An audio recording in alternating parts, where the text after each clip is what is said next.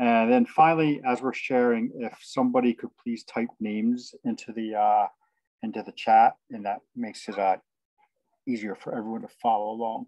So if you have mushrooms that you would like to share, basically we just get in order, first come, first serve. So some people have typed into the chat already that they have some to share.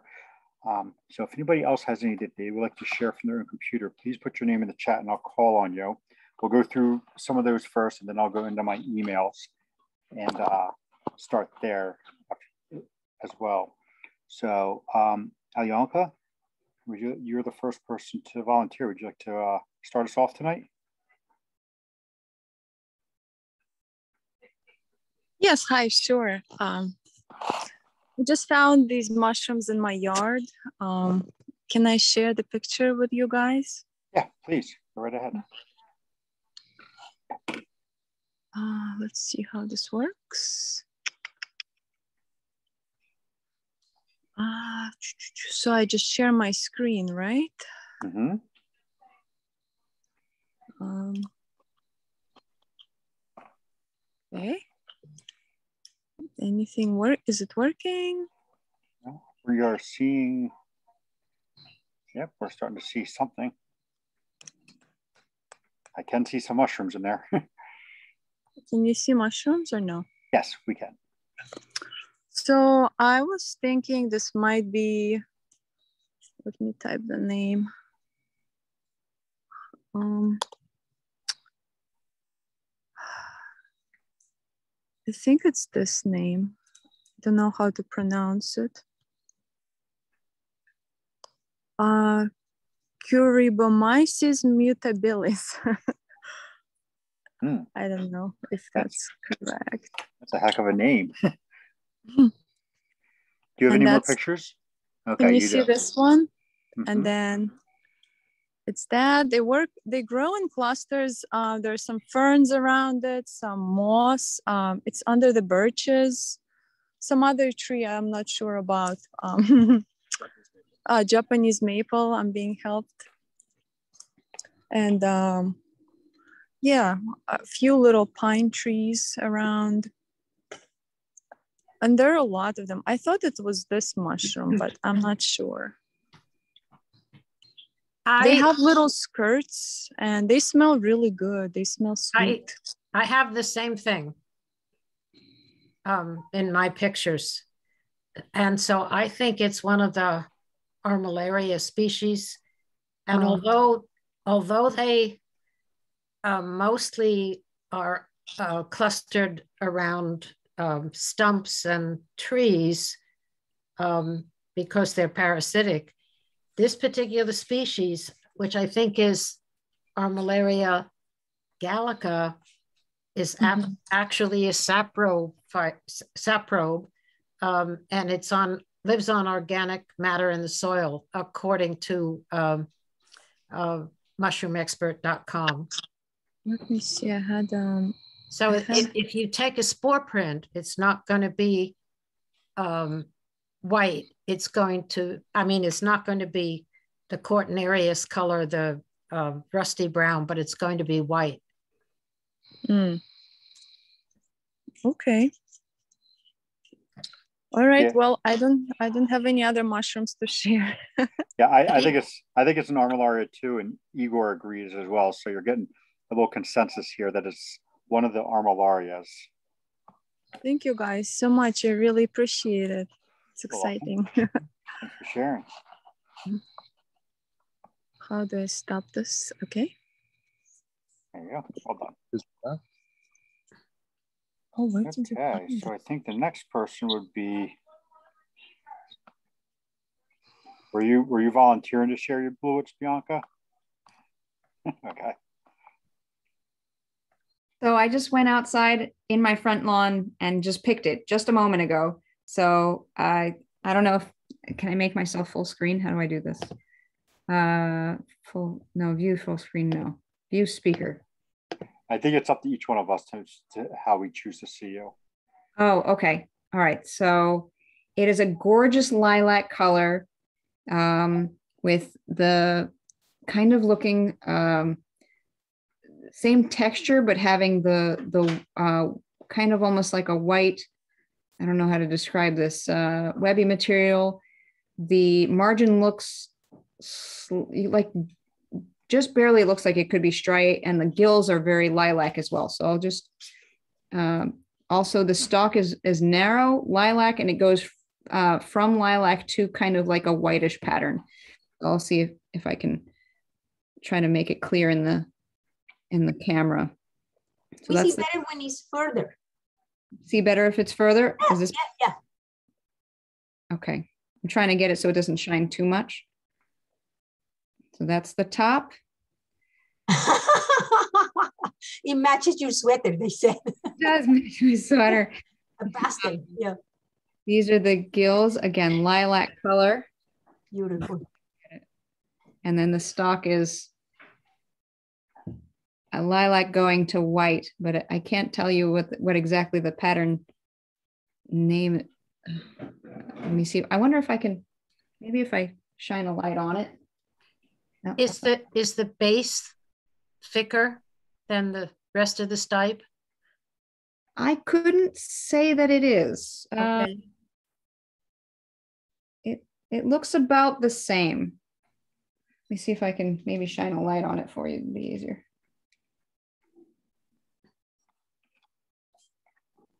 Why isn't it working? Oh, that's why. All right. Oh, that doesn't work. All right. So that's, no, it's not that much better. Is that better? Can you see the stipe any better that way? So it's not really thicker on the bottom than it is on the rest of it. But it's got just gorgeous lilac gill. I've never seen this in my front yard before. My fiance just pointed out to, to me this morning, or I mean, this evening, uh, just as we got home. So I'm thrilled about this. I jumped up and down. I'm like, I think those are blewits, and got super excited. so, are we going with blewits? I honestly, personally, I can't see it well enough to make a judgment call from okay. from looking yeah. at it that way. You'd have to make make a spore print. That'll clinch it. Yeah. The only other mushroom that's purple I can think of is Laccaria amethystina, but the gills are widely spaced for that one. No, and these it's not that one. Yeah, it's too. The cap will be too big. Yeah. In relation to the stem.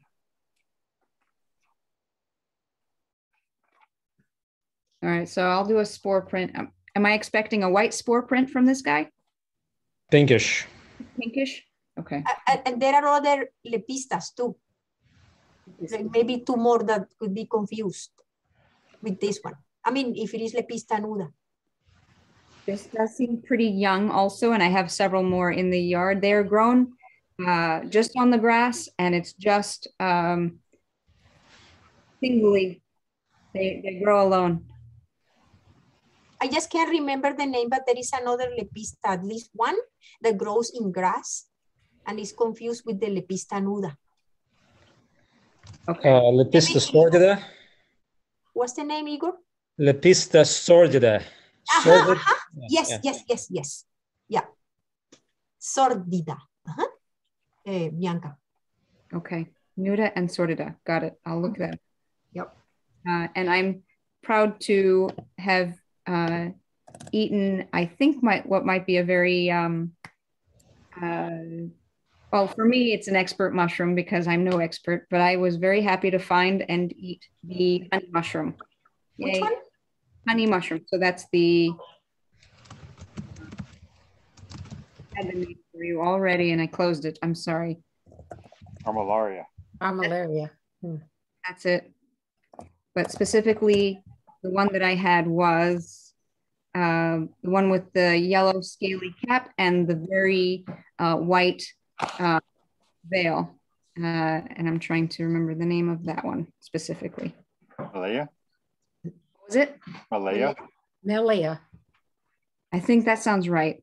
That sounds, but I'll show you the picture of that really quickly. Uh, let me see if I can share correctly. Uh, you know what? I'm just going to do it on here. Let me see if that works. I tell you, honey mushrooms right now are like gangbusters. everywhere. Yeah, you drive down through the pine barrens and it's like you can't look in any direction without seeing them. oh, really? On what road? 532? Um, going into Brendan Byrne, there's areas. Yeah, that's them. Route 70. Here's the scaly. Yep, that's the one. Yep. This is not it. Let me just go. Uh, and right next to it was growing a larger, uh, older one. Uh, I did not pick this one, but I I did cook and eat the other one, this one. So I I uh, rinsed it. Uh, I mean, I I blanched it, I should say, uh, in in hot water, and then I fried it in pork tenderloin leftovers, which had salt, lemon, um, rosemary, and they were fantastic. So I highly suggest it. You want to you want to go back to that uh, double picture? The double. Which one? I'm sorry. These two. No, the one where you showed the young one and the old one, but that's a good picture too. Oh, there you go. Yeah, look at the difference in them. How like the young ones on the left versus how big they are on the right. And yeah. Fairly different looking. Very true. When I started out, I wouldn't have guessed that they were the same mushroom, but yeah, now I know better. And then other, these. I was gonna say that up, that other picture you had too, where you're holding your hand, shows how big they can be too. I've been stumped. I've been stumped by mellea before, thinking it was something else because they were so big when they when they get older. This is actually a uh, a hedgehog mushroom, I believe. Um, sorry, I'll, uh, let me get the right name for it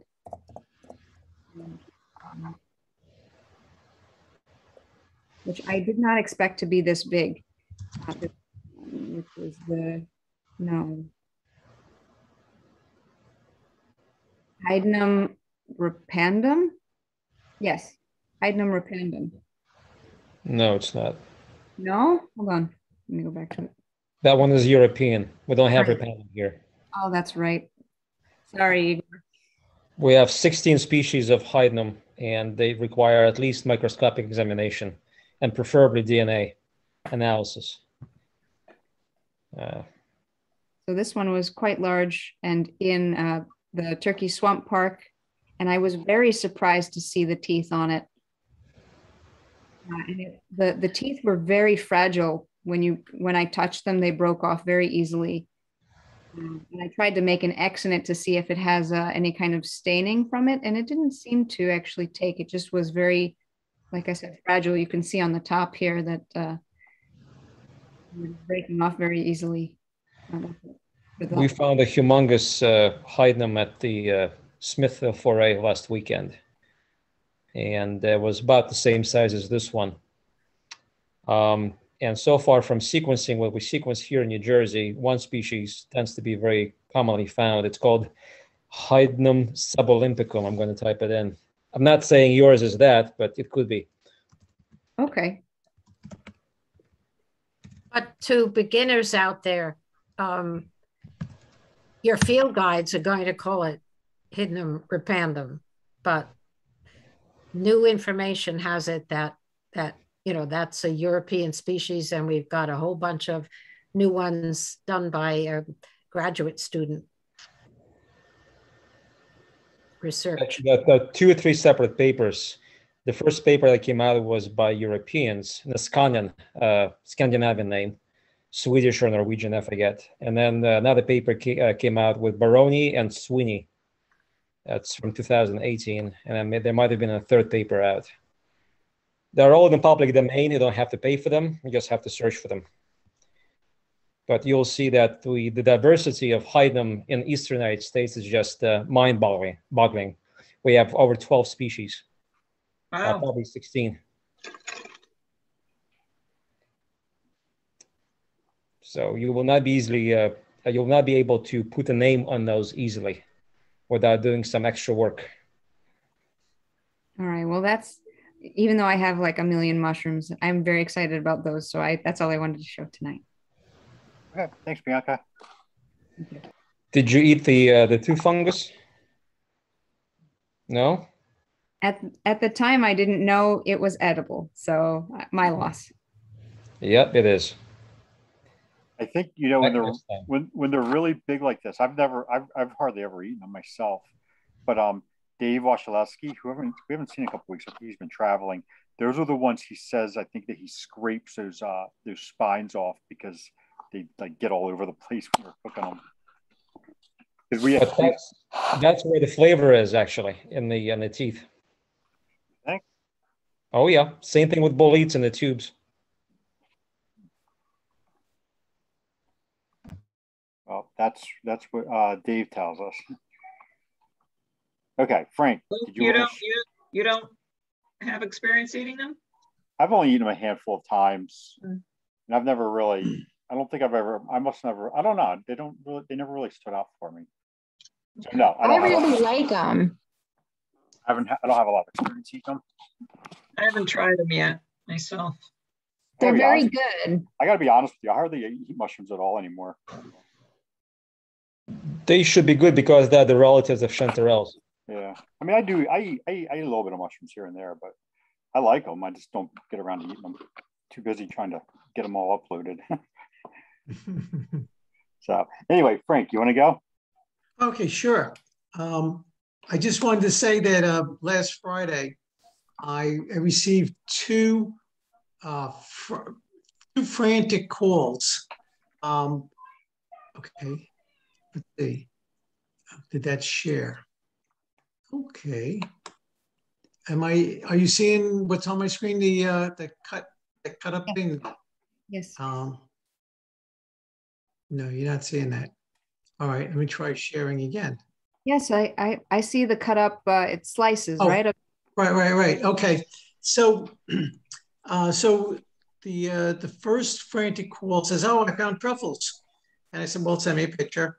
And it turned out to be the aborted entoloma uh, from the last week's uh, uh, ID session.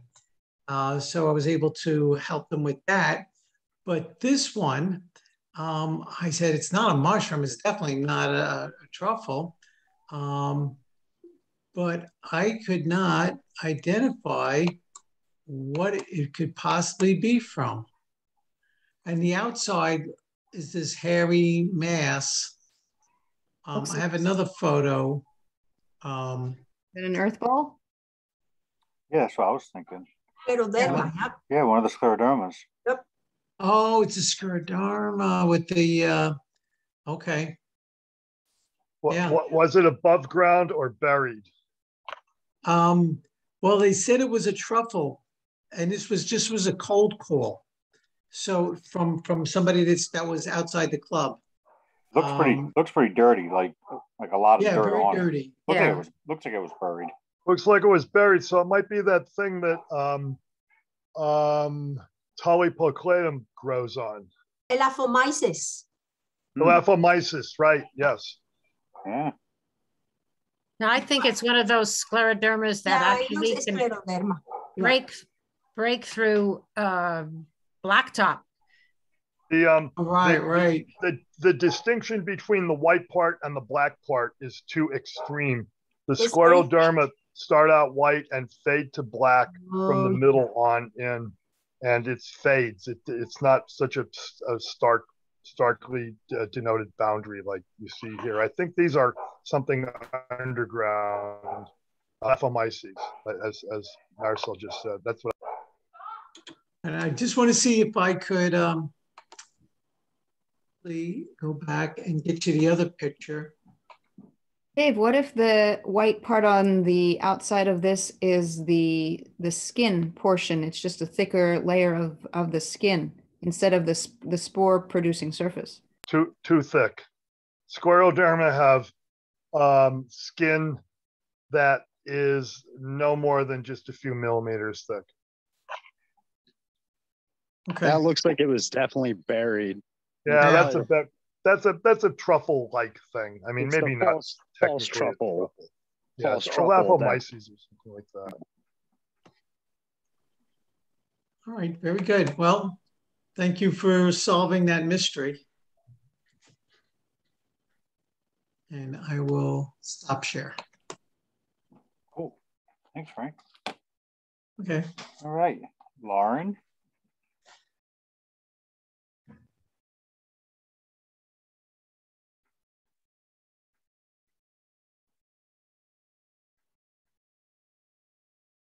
Hi, sorry. All right. let's see here. Oop, wait, actually, is that the wrong one? Ah.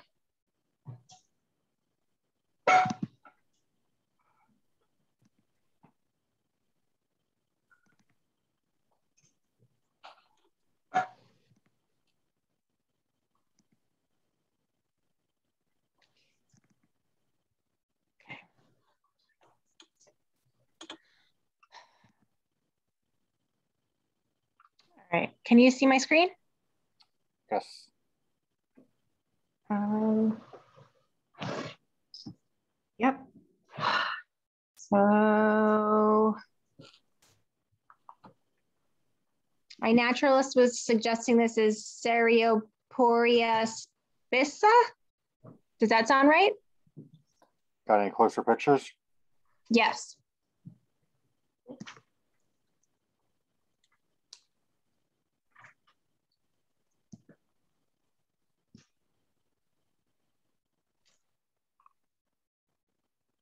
I mean, it looks right. Is it poroid? The colors look right, I should say. Lauren, did it have pores? Um, I don't know. I didn't look that close. Um, Come on, Lauren. well, to be fair, I was working and I was walking two crazy dogs, so I did my best with two crazy dogs. Can you uh, make it uh, bigger so we can see some details somewhere? Um, yeah, I just don't know how to get this Zoom crap out of the way so that It's on the left. On the left, the the positive. Yeah, I think Lauren. I think if you like hold down on that that toolbar, I think you can drag it out of the way. Oh yeah, okay. I, I think. Or clicking on the photo too, sometimes. Ooh, the dragging worked. That was good. Okay.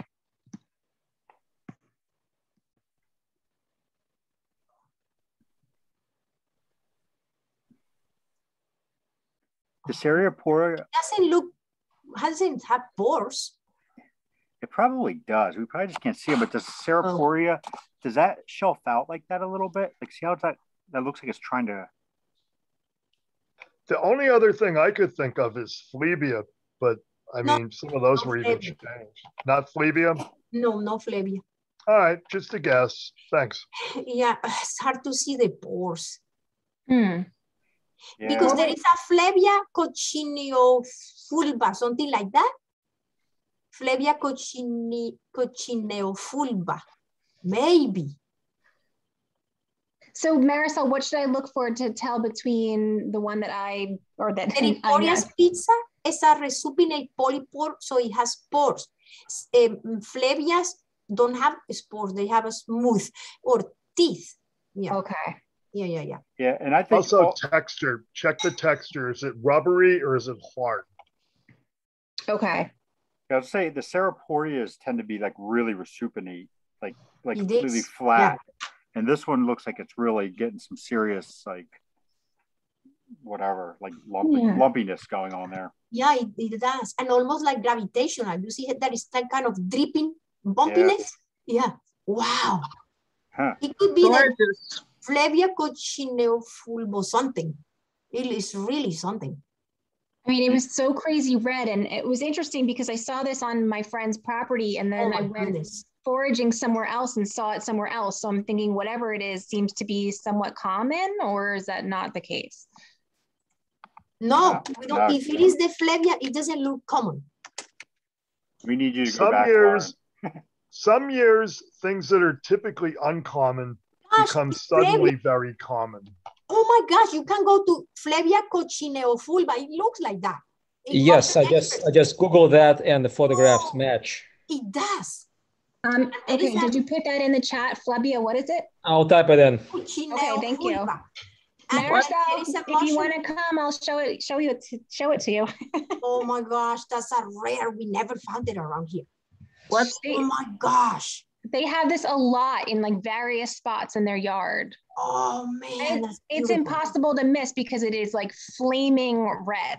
That's it. Yeah, that's how people spot it. Yep. Oh my gosh, that's beautiful.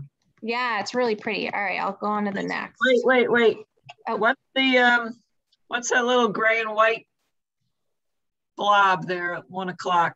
If you zoom in, and the dark background below below the moss.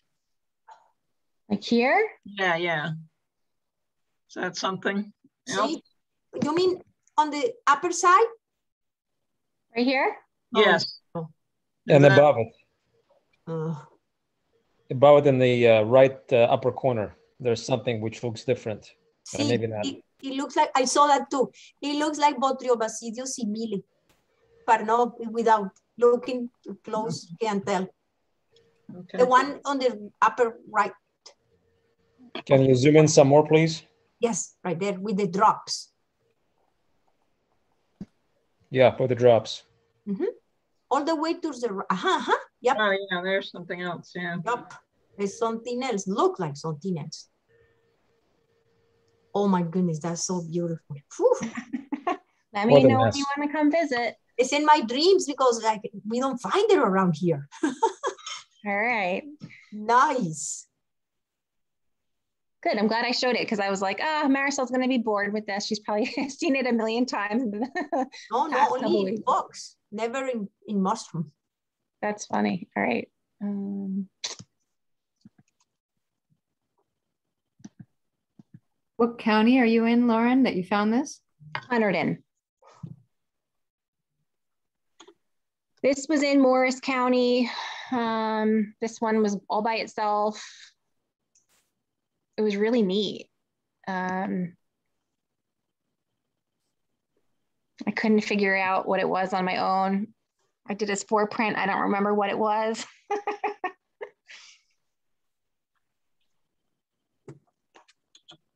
Is it a Gliophorus of some sort? Was a real slimy cap? It looked kind of It- slimy. yeah, it was real slimy. The whole thing was slimy. Yeah, it looks like Grophorus family. Yeah, it looks like it's terrestrial also.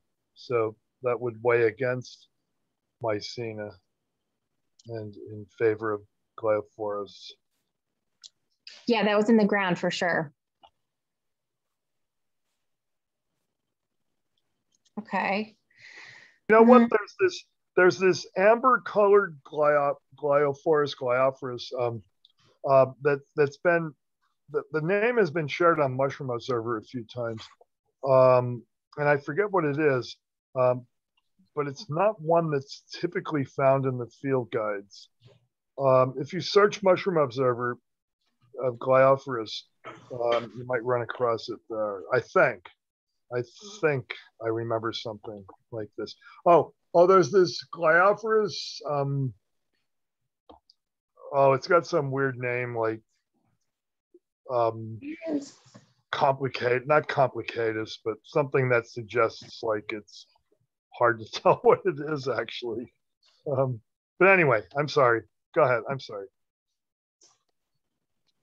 Okay.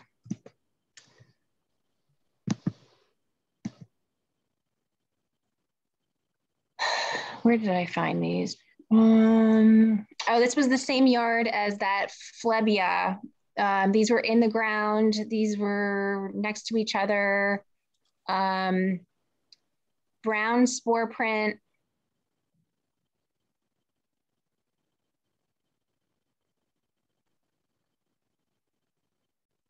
Brown spore print, Yeah.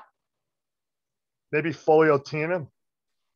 And in these photos, they kind of looked kind of red, but in person or like kind of orangey. In person, they were just really brown. So I tried to get like a better, more accurate lighting situation. Like that's kind of more like what they looked like, brown. Yeah, it's a it, the color is probably a little hard to really assess because everything looks pretty wet too. That's the that's the other thing. Um, so it looks like these were kind of wet when they were photographed, and and it looks like there was probably rain either falling or had fallen uh, pretty uh, soon before this.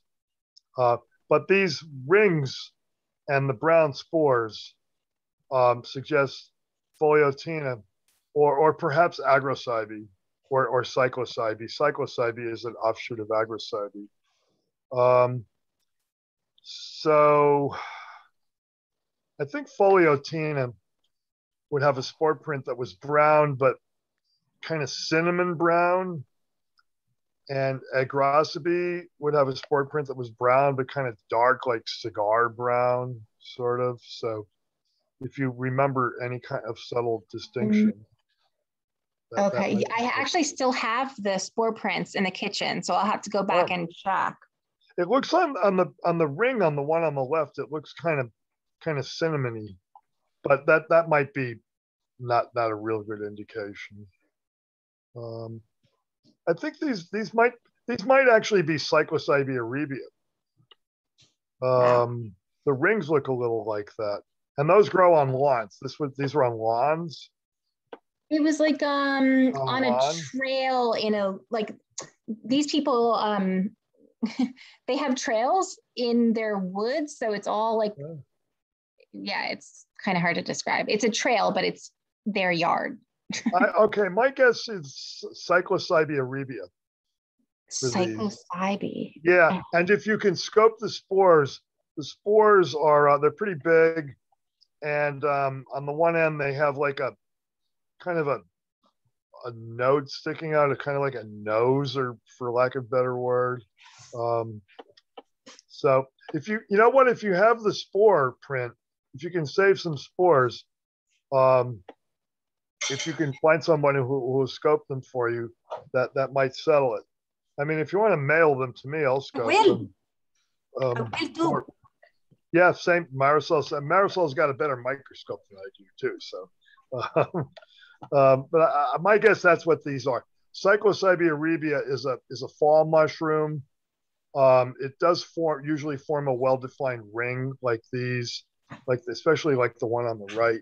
Um, the the the moisture on the cap is probably making the cap look a little different than it would otherwise. Um, on the other hand, Pholiotina, uh, you know what? Pholiotina usually has a stalk that's not as thick as these. And there's a few different folio. Mm-hmm. Yeah, Pholiotina is a little more slender and um, maybe fragile. Cyclocybe erebia, that's what I think these are. Okay, thanks. I just put that in my INAT so I can look into that better. All right. Okay. Um, the thing with Cyclocybe erebia is that the cap is often wrinkled. That's what Michael Kuo says. Oh, yeah, okay. sometimes it isn't, sometimes it isn't. I find these on my lawn every year. I'm, I'm kind of used to looking at them. Uh, and when they're wet, it might look different as well. Yes. These were growing on the ground in Morris County, uh, hardwoods.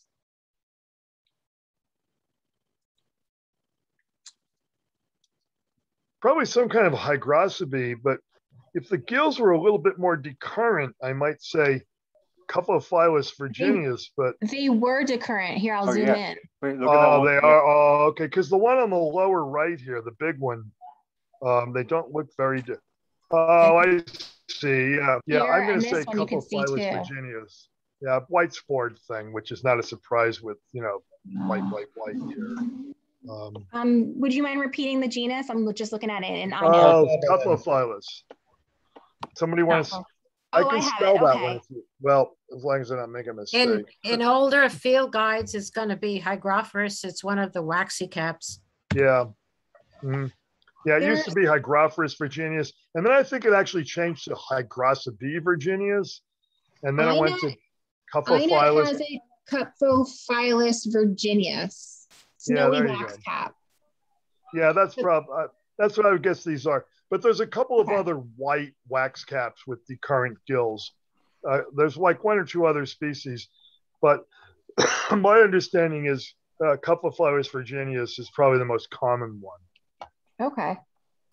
There, and there's one that's like really viscid too. That's really sticky. You can you try to pick it and it sticks to your finger. This this one doesn't look like that. No. I think that's Eburneus or Rubinus or something. anyway, that, that's what this, I think this is, Cuphophyllus, virginia. Okay. Thank you, everybody. Okay, thank you. All right.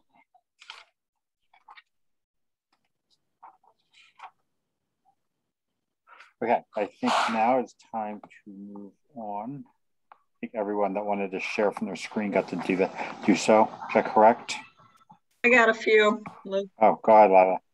Okay. All right, share.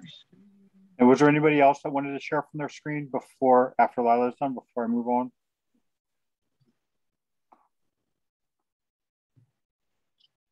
Joke. Okay. All right. So this is Lactarius indigo, found um, obviously in a pine forest with some other hardwoods mixed in, birch and some cherry. You can see We the don't, beautiful. we don't have the image yet. Oh, it isn't sharing? Oh, crap. Uh, Second share, sorry. How about now, Dorothy? Good. Yep. Yes. Okay, so like Lactarius indigo in, in the pine woods mostly. And just by handling it, my, my fingernail, thumbnail cut in and just, just barely grazed it. And you can see the, uh, the blue latex coming out. It, it was incredibly blue. I, I found some a week ago too for really for the first time did I find ones that were in decent enough shape to collect.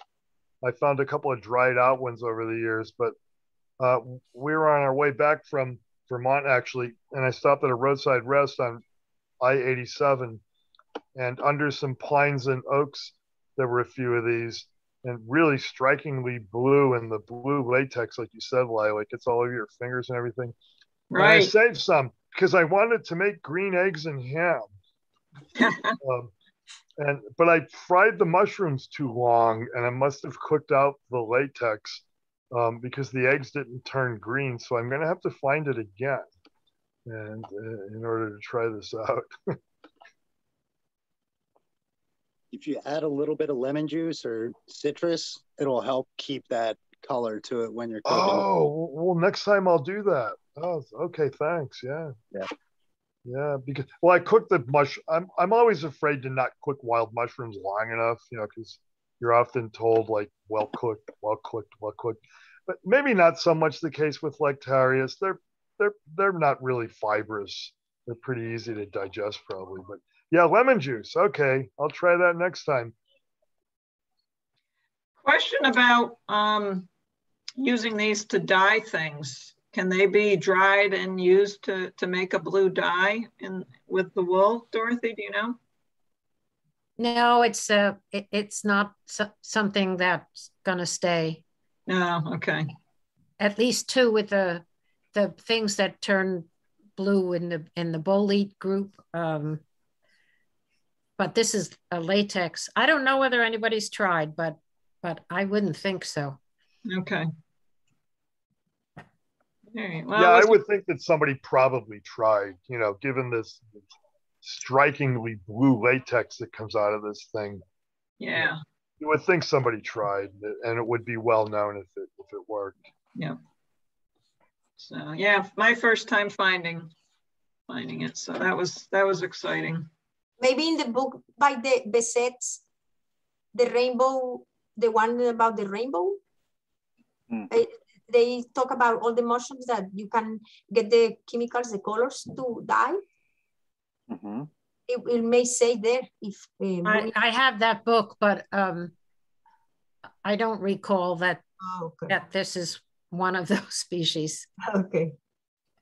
All right, well, moving on, um, keeping with the theme of everybody's got Armillaria, here's um, really a vibrant one. Most of the ones that I was seeing were very dull and um, and mature. and then I came across this old stump that had a bunch bunch of stuff going on, uh, including including these coming out. Within the last two days, Lila? Um, yeah, this was on Sunday. Yeah, me too, on Sunday. These yellow ones, they just came out around here. I think it's Armillaria mellea. That's what I think. But I yeah, think but Armillaria is to, to have, you know, I'm not real confident with species names on them. But is I think that it's a mellea. complex? Is that a complex? Oh God, Armillaria. Tom Volk has d- described like 17 North American species Oh or something like that. And there, I think there's like five we get around here in Northeast PA. Um, but the trade, I think the things you want to look for Mellea, there's not a lot of ornamentation on the cap, and you can see a few of them are fairly bald, especially near the margin. Um, the the partial veil is is fairly persistent and a membrane, and it's not it's not a cortina like on Gallica. I do I do think I know how to identify Ar- Armillaria gallica, which is a brown one, and um, and I found some of these also on Sunday. Same same exact thing, really. Okay. Uh, the, the, they're probably one of the better ones to eat because they're really substantial. You know, do you parboil them? Do people parboil them? Because I do. Yes. Yeah, Yeah, I, I, I have yet to, to try them. they're a little bit slimy. No. So you, so you pour. No, If you if you cook them long enough but not too long, they weren't. that, that's what I was just getting around to saying. I agree. Yeah, you slow saute them. I, I cover the skillet for 10 minutes. So you shove them around a little bit so they don't stick, and then uncover the skillet for another 10 or 15 minutes. And, and you can cook the slime off them. And if you still think they're too slimy, use them in something like stroganoff or uh, some other kind of stew where, where that aspect would be hidden. Um, but they, they should be well cooked. There's a substance in armillaria that some people are allergic to. This, by the way, is probably the most uh, popular edible mushroom in where I live. They call it popinkis. It's a, uh, a, a Polish word that's been changed. I think the actual Polish word is pinky or something like that. Okay. Um, look at this one. We had some purple things going on as well.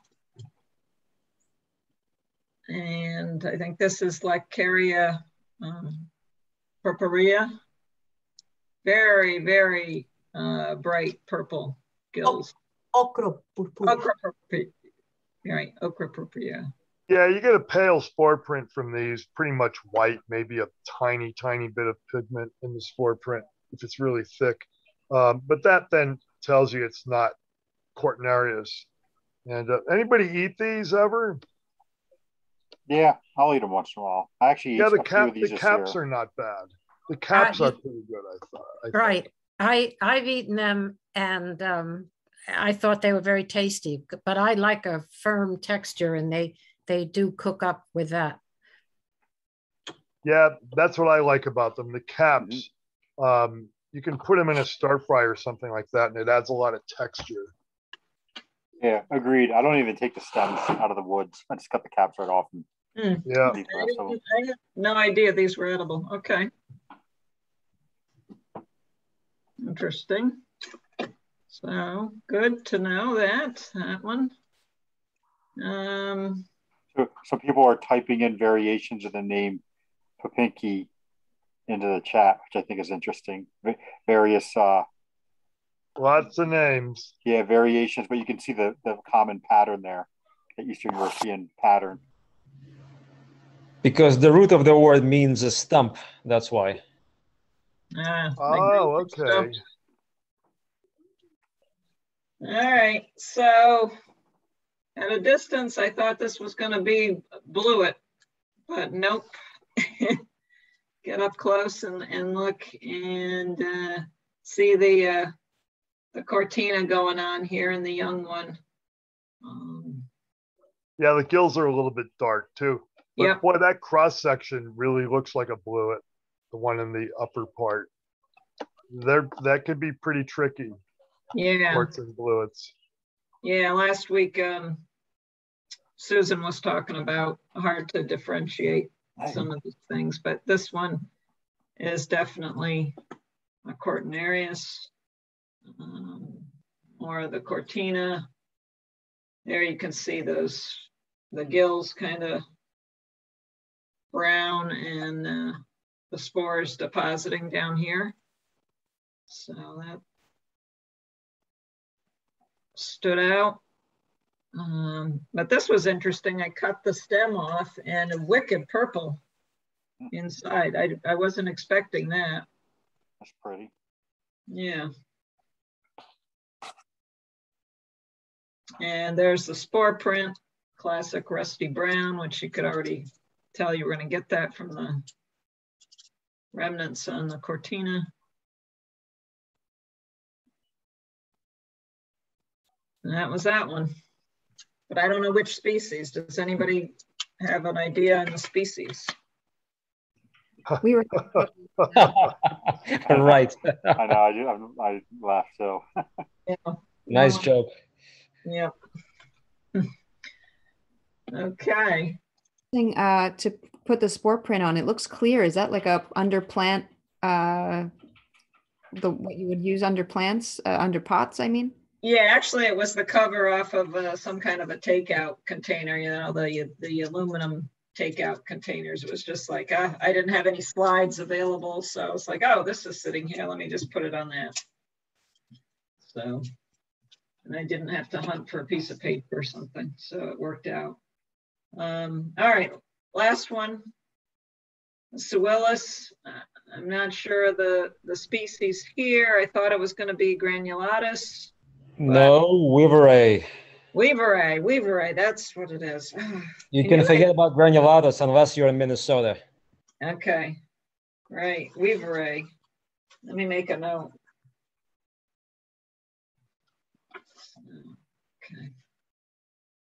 I must have 200 of these in the front yard.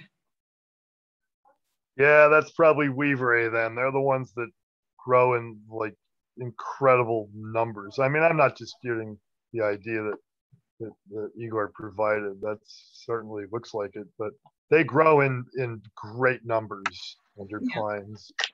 Yep, there's white pine, uh, hickory, obviously, and, um, cherry, and it's kind of in the nexus of where all three of those are growing.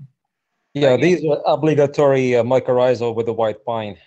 Okay, So granulatus is European and grows with hard pines, like two or three needle pines. Right oh, that's a good photo there.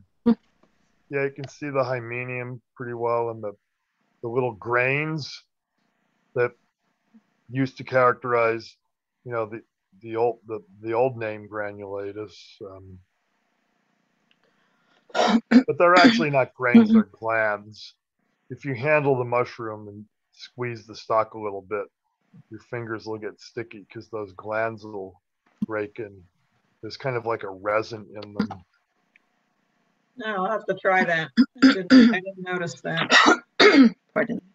Pardon. Yeah, it might be more apparent on, on, on, on some of the other species of Suillus, but but the ones that have the little glands, they're, they're glands. They're not like they're not like scabers or or um, it's not punctate. It's they're, they're little glands.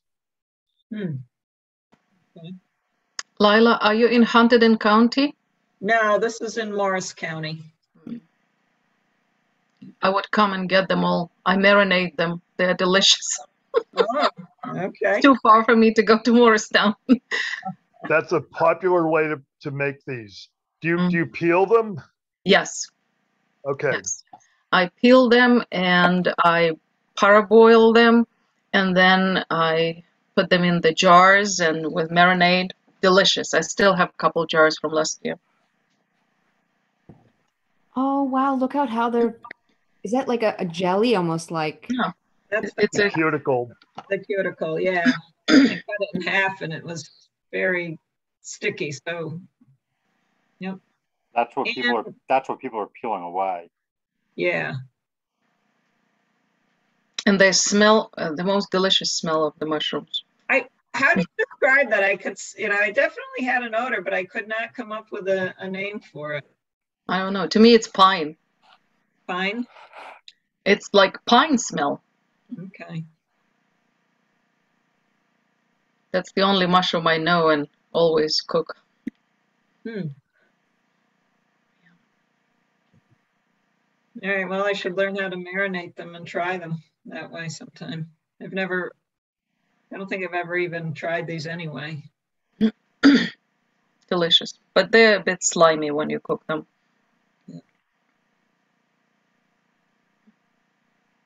Okay, I guess I've used up enough time, I think. Thank you, All right, cool. Weaver. Sharing, Tyler. Okay, I'm going to go into the chats.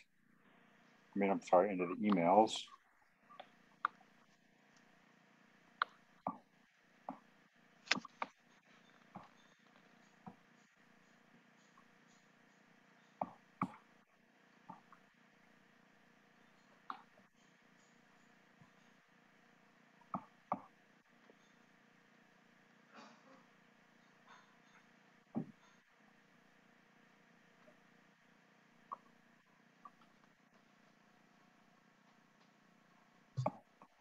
Okay, and I will share them in the order that I received them.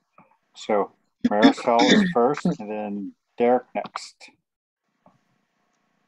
Right.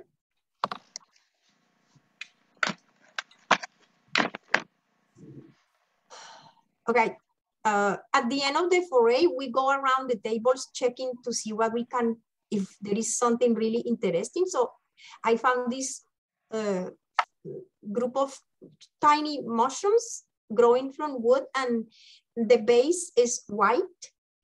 And um, I took it home and I did the micro. Uh, can you show please the, the gills and the micro? Yeah, very, very small. And uh, I think they have Cheilocystidia.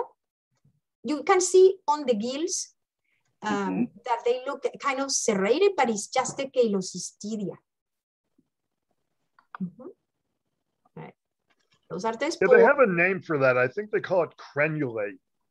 I, I the- don't know. Crenulate when there's like that. mm, Yeah, when the marge, when the edges of the gills are covered with uh, Cheilocystidia and they Okay. they look kind of uh, textured, let's say.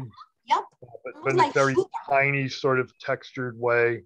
Cre- Mhm. Crenulate, I think, is the word. Okay. So this is what it was giving that aspect to the edge of the gills. This type of Cheilocystidia, a little bit capitate. As you can see, few of them enlarge at the tip.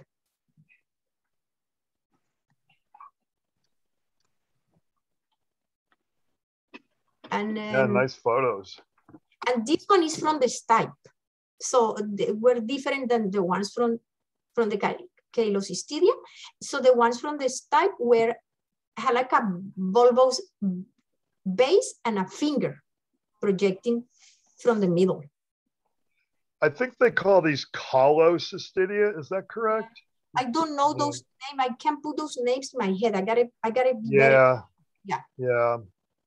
But for me, it's easier if I say from the edge, from the side, or from the stipe. It's, it's simple and easy for me. But I had to learn those names. I keep Well, it, it's good. It's good to say that anyway, for everyone's sake, really. Yeah, and and the one we just saw is close to the gills. You can see like a white. No, the one we're seeing the gills, the other one. When the stipe is getting closer to the gills, you can see this white mm, cottony thing. That's the mm, the cystidia we just saw. The, the microphoto.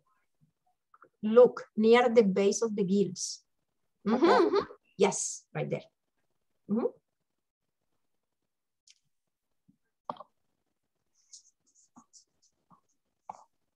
All right.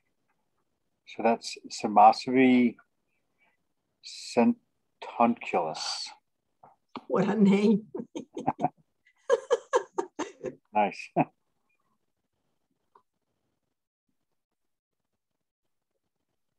right. So somebody found this and I got it from the table and it looked different to me. And I thought it may be this, this one. I thought it was something else, but then I look in the box and it looked like rugosa. And then I did the micro, my goodness, the spores are gigantic and almost like globose. You will see in the micro. Then I look on the micro and it matches. Look at the beautiful spores.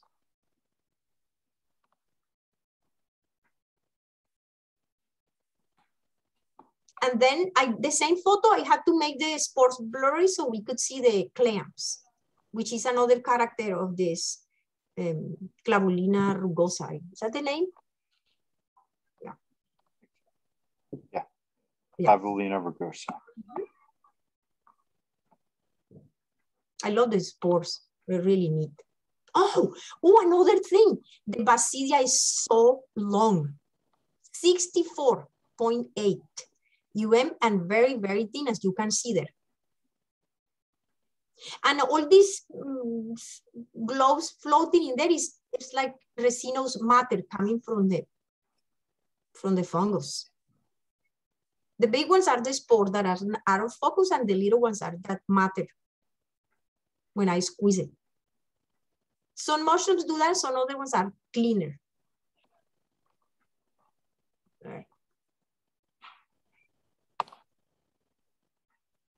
All right, Clavulina rugosa. Mm -hmm. um, I'm not 100% sure about this one. I gotta um, study this one a little bit more. I found this one on the table too. There was only one and it was everything pink. It was a little, it was getting in bad shape, but I still managed to, to get stuff out of it. And the gills are a little lighter. Can you show the other photos, please?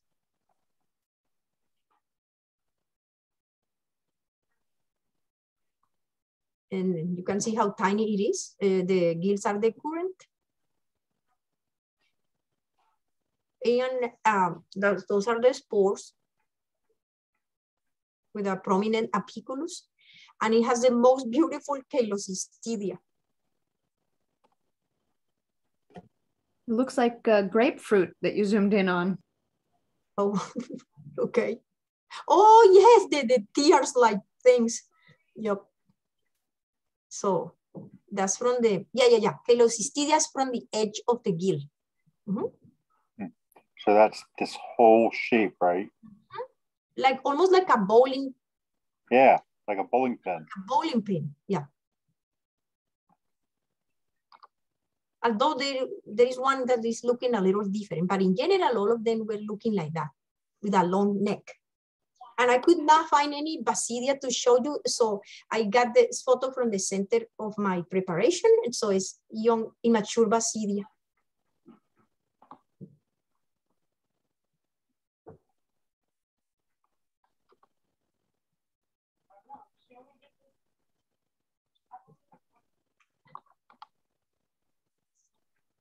All right, cool. All right, Mallocybe unicolor. So, Marisol, do you think that that purplish one could be a Mycena? Maybe something like Mycena pura? Or I know Mycena, mm, I know pura. This one is not pura. Okay. The the it the the stem is way too long in relation to the size. Yeah, the stem is really long for Mycena yeah. pura. I agree. Did you see if the spores were amyloids? I know I didn't do that. Oh, geez. You do that on mycenas too? Mycenas have amyloid spores, at least most of them. And things that used to be mycena and were moved out a lot of times places don't have amyloid spores. So, oh man. Uh, yeah, well, most of the mycena, true mycenas have amyloid spores. Sometimes oh. it's weak, weak amyloidity, but usually there's at least some change. Uh, for the future, I didn't know that, but thank you. Okay. This was another, I don't know if I found this or somebody found it. I'm not sure. No, no, somebody found that. And I thought I look, I saw this before. Igor, do you remember when we found this one somewhere else on their oak? Are you there, Igor? Um, yes, yes, I am. Yeah. So I, I said I, it looks familiar to me. And when I look at the scales, the scales are connected. it's like the scales make like a pyramid and then they are connected. I mean, you cannot see it on this photo, but you can see the gross aspect. No, of I it. see I that. can actually see it pretty well. Oh, okay, okay, Yeah. okay. I, I don't think this is unicolor, which is granular. It doesn't have those pyramids. Oh. Something else, I think. Oh, and there is something. Mm. I this is good thing. Yeah, I'm not 100 percent percent sure it is because you can see in this photo that the edge of the gills is darker. When I look on the microscope, I was like, what? You'll see in the micro. I didn't even know how to call that because it doesn't look like Caulocystidia because there was Caulocystidia and the brown things in there. Can you show the micro photos, please? Yeah, I think you call that marginate gills. Oh, Yeah, all right. You're going to see the micro. It was incredible. yeah, I'll type that name in there. Oh, okay. Emarginate, Marginate gills. ma, marginate When when when the gill edges are a different color than the oh, okay. the sides. Mm-hmm. Marginate gills. All right, those are the spores. And then, You know how do you know how large those spores are? They don't look like Mallocybe unicolor spores actually. Mallocybe unicolor spores are more um more decidedly elliptic, not like you know tapered on one end. Mhm. Uh, and they're big. okay. Uh, I think I would have to double check that, but I think I'm right about that. So this is what you see on the marginated aspect of the gill is that black stuff in there. So this is 100% view of that. And then this is a little, uh, they must be a little bigger. Oh boy, this is a little bigger. I have a bigger photo. I think the one before was 40, this is 100, and then I got the 400. You'll see the detail. It's almost like wrinkled grayish hypha that has no caulocystidia shape unless they call it caulocystidia with different shapes. I have no idea. Can you show the next one to see the, Is this an example of what they sometimes call terminal cells? oh, okay. I call it wrinkled, I, I don't know actually. I, I'm I trying to understand what that means. Yeah, and and you can see that they are, have a wrinkled aspect, and the color is almost like ash, gray, brown, kind of. Yeah, and they're really long, and even they have septa. So I just don't know. So that's not the one I I was saying. Okay, and now it has the. This is from the side of the gills and it has the ornamentation. The what is it? That it's this name? They metuloid. Pleurocystidia. Sometimes they call these things Metuloid. um, Metuloid Oh. cystidia. metuloids. Yeah, yeah. They have that ornamentation on the apex. Yeah. Um, yeah, nice. I'm. I think once again, I think Mallocybe um, unicolor might not have these. Okay, I'd, I'd have to double check. I'll check. Yeah. Yeah, the only thing that I didn't like was to, I mean, that for Mallocybe, those brown terminal cells, I have no idea what is what it is. Yeah, I don't. I don't know what those are either. That's Never pretty saw anything strange. like that. Wow. Mhm. And I think I have a bigger detail of this. No, another view, another view of that from the side of the gills. And a bigger one now, yeah, 400.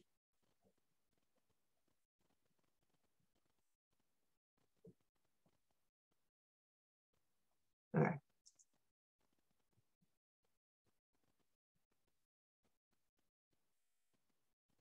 All right, so we're, so we're thinking not Velocity unicolor, No. right? Right. But some No. sort of something the in that. ornamentation, The gap is wrong too. something in that Inocybe realm. Inocybe family, okay. Yeah, Inocybaceae. I don't, I don't know what genus this would go in, really. Because it's, but, but having the metuloids is a clue. Yeah, that it belongs to that family. Okay. Yeah, well, that, but it belongs to, a certain genus in that family because I think there's one or two of those genera. There are four, I think.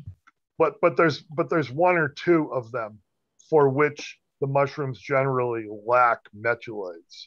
Oh, okay. Mm -hmm. Okay. And Pholiota granulosa. Right. This one was this I found it myself, and it's or kind of ornamented on the cap, and small size, granulose aspect, and yellowish gills and the concolores with the stipe. And those are the spores. Kind of yellowish. And this is the Cheilocystidia 100%. Instead of having that, this one is has another shape. Um, the bigger part is towards the outside. Oh, I can't say that. You do see it. You see right there. The narrow part is the base. Kind of capitate, if I can say that. You can see in the center, there's the, the base. Mm -hmm. Yeah, I think they usually call this shape clave oh. because, it's, because it's thicker on top, but it's sort of tapered okay. instead of having like an abrupt head. I get it. Okay, thanks. Mm -hmm.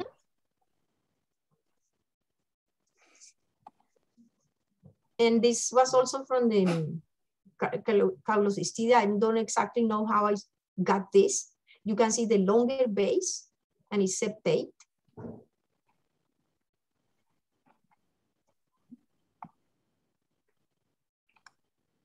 All right, that was it on the pictures. Yeah, okay. Yeah, I, I've ID'd this species a couple of times, and this looks like what I've called this by the same name, really. Yeah. Sometimes it has a little bit more um, appendiculate stuff along the cap margin, but that it doesn't have to.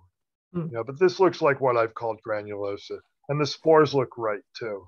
Oh, okay. Um, I only yeah. got that one because somebody posted one, and I said I have seen this one, and then I checked yeah. one. And yeah. It's, it's a little easy to confuse with some of the small gymnopilus.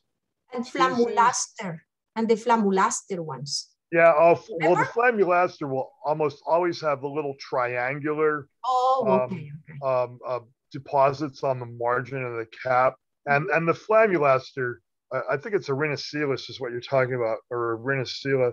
It's it's got the ornamentation is much more rugged okay. on, on the cap, but those are easy to confuse. Very easy to see. Sometimes Pholiota granulosa has much more rugged, sort of coarse ornamentation on the cap. And sometimes it has, sometimes it has on, on the edge of the cap, it will margin, it will also have appendiculate material, and then they're really hard to tell apart. Oh. And, and and in fact, the spores are even shaped almost the same way. So that can be kind of tricky. Mm. Yeah, the, the flammulaster of Rhinocella mm-hmm. and the um, Pholiota granulosa, the spores are not all that different. I, I'm not sure if the flammulaster spores are thin-walled or thick-walled. I know the Pholiota spores are thin-walled, and um, and there's no ornamentation on the spores. What the spores you showed look like Pholiota spores for sure. Mm-hmm. All right. So, Thanks. Yeah. Yeah, you're welcome. Yeah, I'm, it's, I'm interested in this one too because I've mixed it up with a couple of other things a few times. Mm-hmm. Thanks. Okay, Derek. Derek is up.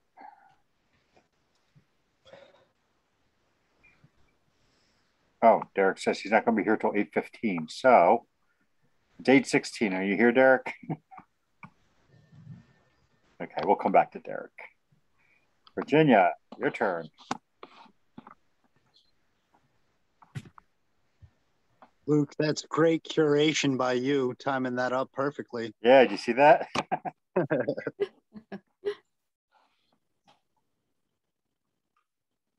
okay. Um, this is from Horseshoe Bend Park in July on the 4A. Um, if you could zoom in a little on that one. these are very small. This is from a moist chamber culture.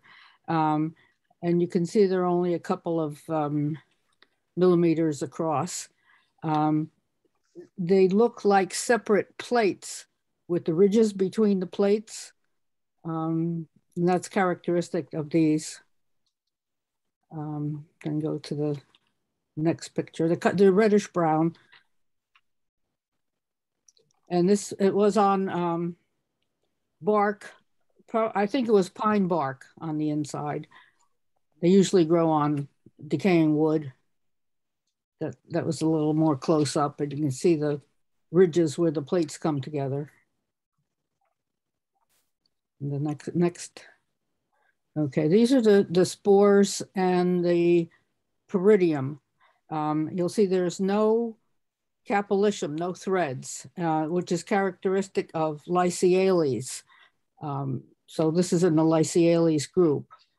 Um, in mass, they're kind of a dark reddish brown and um, in transmitted light, the spores are more light brown and um, they're finely spinulose along the, uh, along the edge. Um, if you look at the edge of the um, peridium, it's, it's kind of golden uh, yellow brown. Uh, and if you look along the edge, it has little bumps, little pegs, peg-like. That's another characteristic.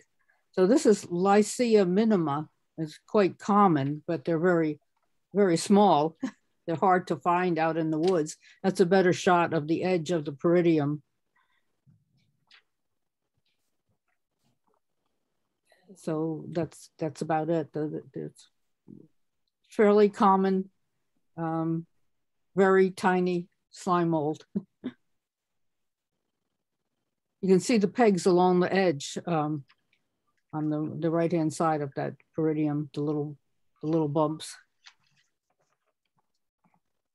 All right, cool. Thank you, Virginia. So there's the name. Anybody wants to catch that again? Yeah, I can put it in the chat.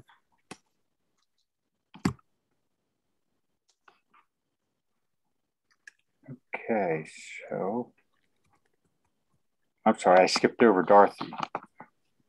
Dorothy, would you like to go next?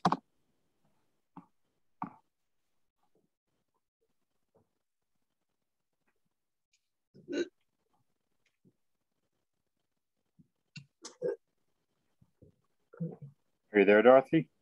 Yep. Waiting for the picture to get large.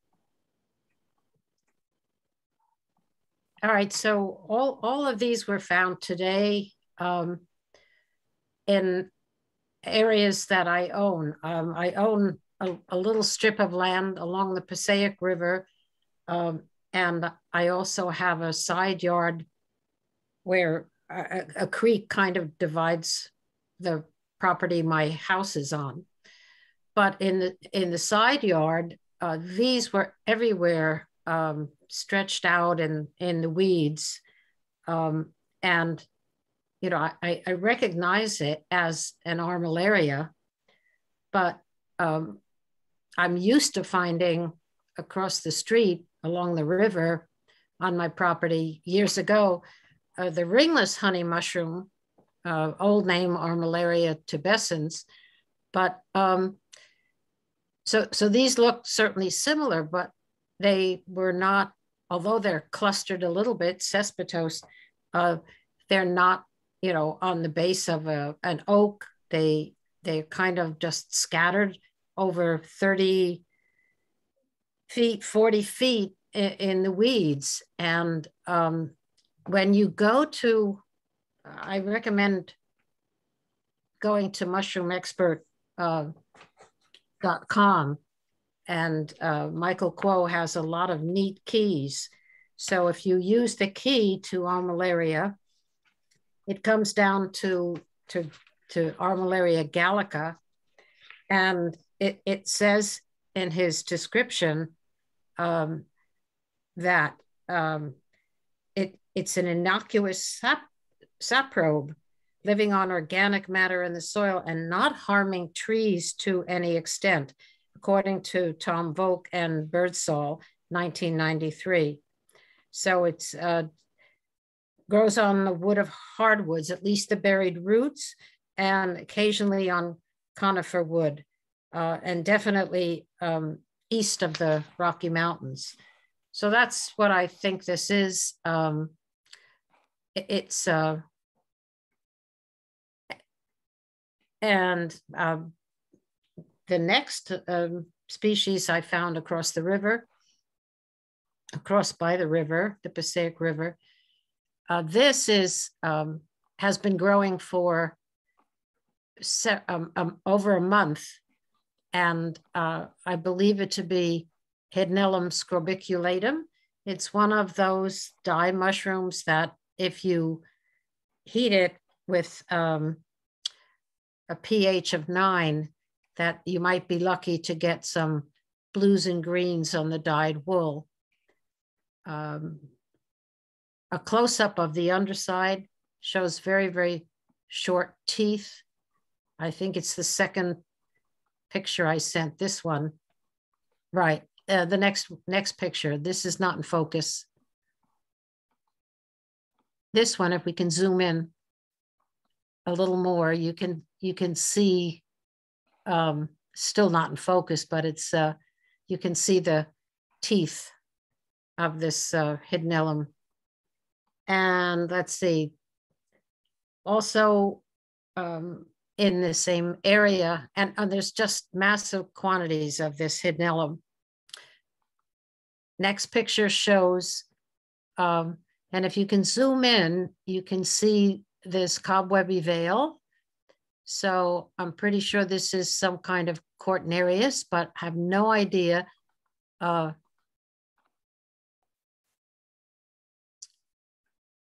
on, on the one on the, the left, you can see the cobwebby veil, uh, but it's definitely white, matte on top, no purple fibrils. Um, spore print is going to be rusty. You can see a little bit on the stipe of the run on the right. Uh, but I don't know, I, I've looked in all the Cortinarius pictures of the Phillips mushroom book, but um, doesn't seem to match anything and and that's where I can leave it, just as Cortinarius. Uh, the next picture shows uh, the underside of very, very common Neofavolus alveolaris. Um, and I was reading also in um, mushroomexpert.com or no, it could have been the Wikipedia article. There are only four species in this genus Neofavolus. Two are found in Eastern Asia, and the other uh, one, aside from this one with a beautiful, if you zoom in on this and one portion, you can see these beautiful um, kind of hexagonal uh, diamond shaped uh, pores. Um, the other one that has been uh, transferred from Lentinus is Neofavolus suavissimus, and it has gills under the cap, uh, with but a very similar cap color, you know, that orangey color. And these hang out for a long time and uh, lose that that orangey color, and they fade to white if you find them in the following spring. And finally, the last picture. Well, that's the top of the cap of the Neofavolus. The next picture shows, uh, if we can turn it, um, four different russulas that were in this spot across by the river. Uh, the one on top, which I'm looking at the picture uh, of mine, which is, it's on the left, but this is on the top. And a lot of striations on the cap. This is one of the stinky russulas. Um, it smelled we can zoom in on that top one. Yeah, I'm not sure if I can easily rotate it in this uh, Okay, but the way I'm looking at in, it here. If I can zoom can- in. you can see the striations. Um, and it had almost that sweet almond smell, but it was starting to uh, uh, go more fetid. Um, I'm sure if it was wet, it would be viscid. And if we zoom, go down the image, there were three other uh, russulas, a red one, a kind of a a grayish one and a, a pale peachy one. These three were uh, mild to taste, but you know, I haven't done spore prints. I just got them uh, today from this uh, this area right by my house. So, but that's that's all I have. If anybody has any other suggestions on, Do you think the gray one could be Modesta? I'm not sure, Dave. Yeah. I'm not sure. Yeah, they. I, it's easier to tell Modesta when it's young, and it has the bloom on the cap, the the pow, you know, the flowery center. Um, right. Th- this I think Modesta turns kind of gray on the margin and yellowish in the middle. I I think. yeah, this one got a little damaged on the top, probably by a slug. So, huh.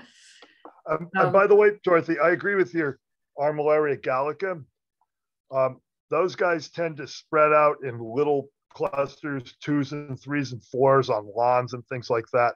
And the thing that really makes me think you're right is that you'll notice if you look at your Armillaria photos again, um, uh, the ring that's formed from the partial veil is really not much of a ring. It's more of just a collapsed little zone.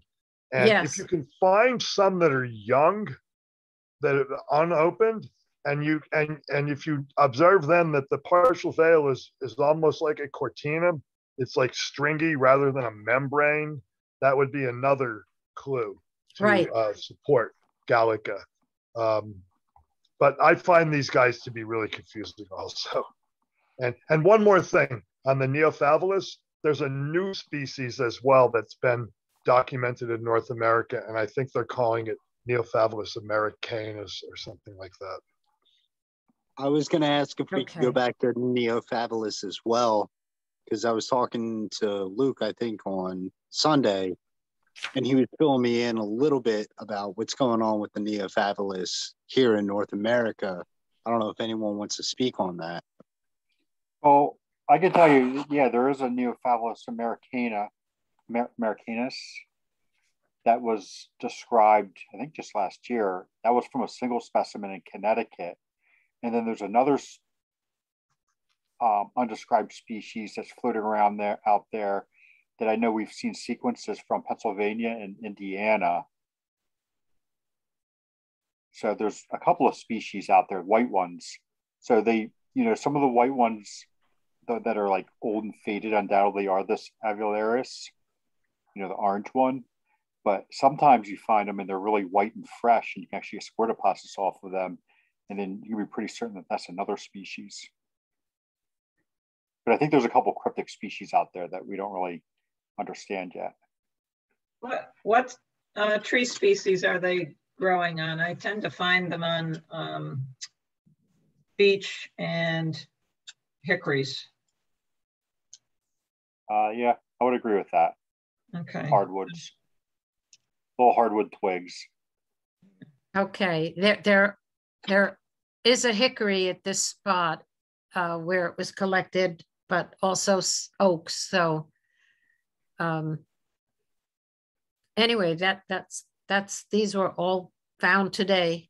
I love the diversity. uh, uh, in- in Yeah, just I'm, I'm lucky, lucky, particularly after the hurricane. Um, you know, there was just so much over there. Amanitas too. And then when it's dry, it's, there's nothing. All right, cool. Thank you, Dorothy. So since we're talking so much about the honey mushrooms, I pulled this off of um, it was, it was on one of the Facebook groups that I'm on. Um, Gary Gilbert put this together. So if anybody knows Gary Gilbert, he's a northeastern guy.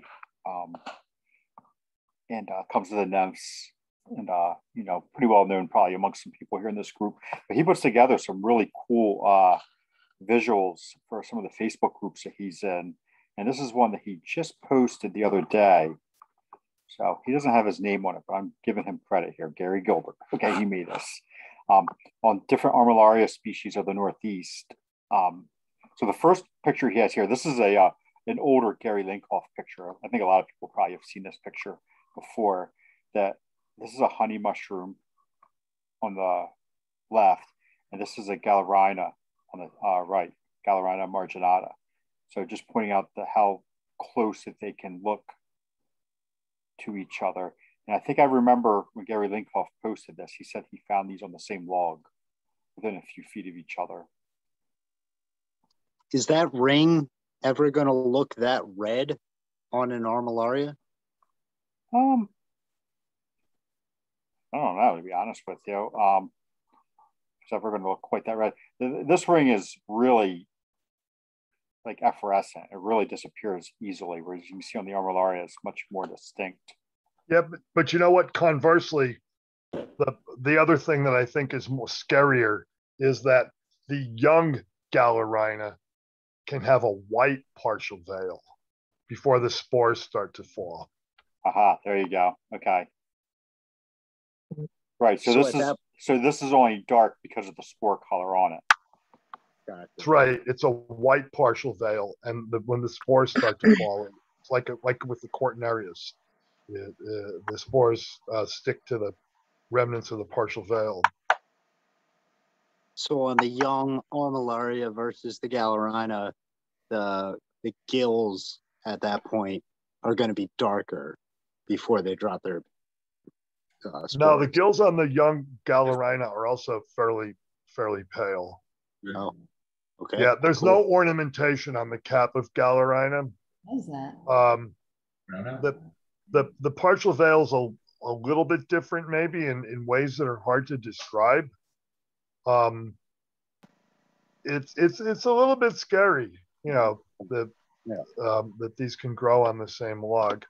Yeah, you can. You know, when in doubt, throw it out. But if you want to learn, if you want to take stuff home and learn, take a spore print, you know, and then you're going to know.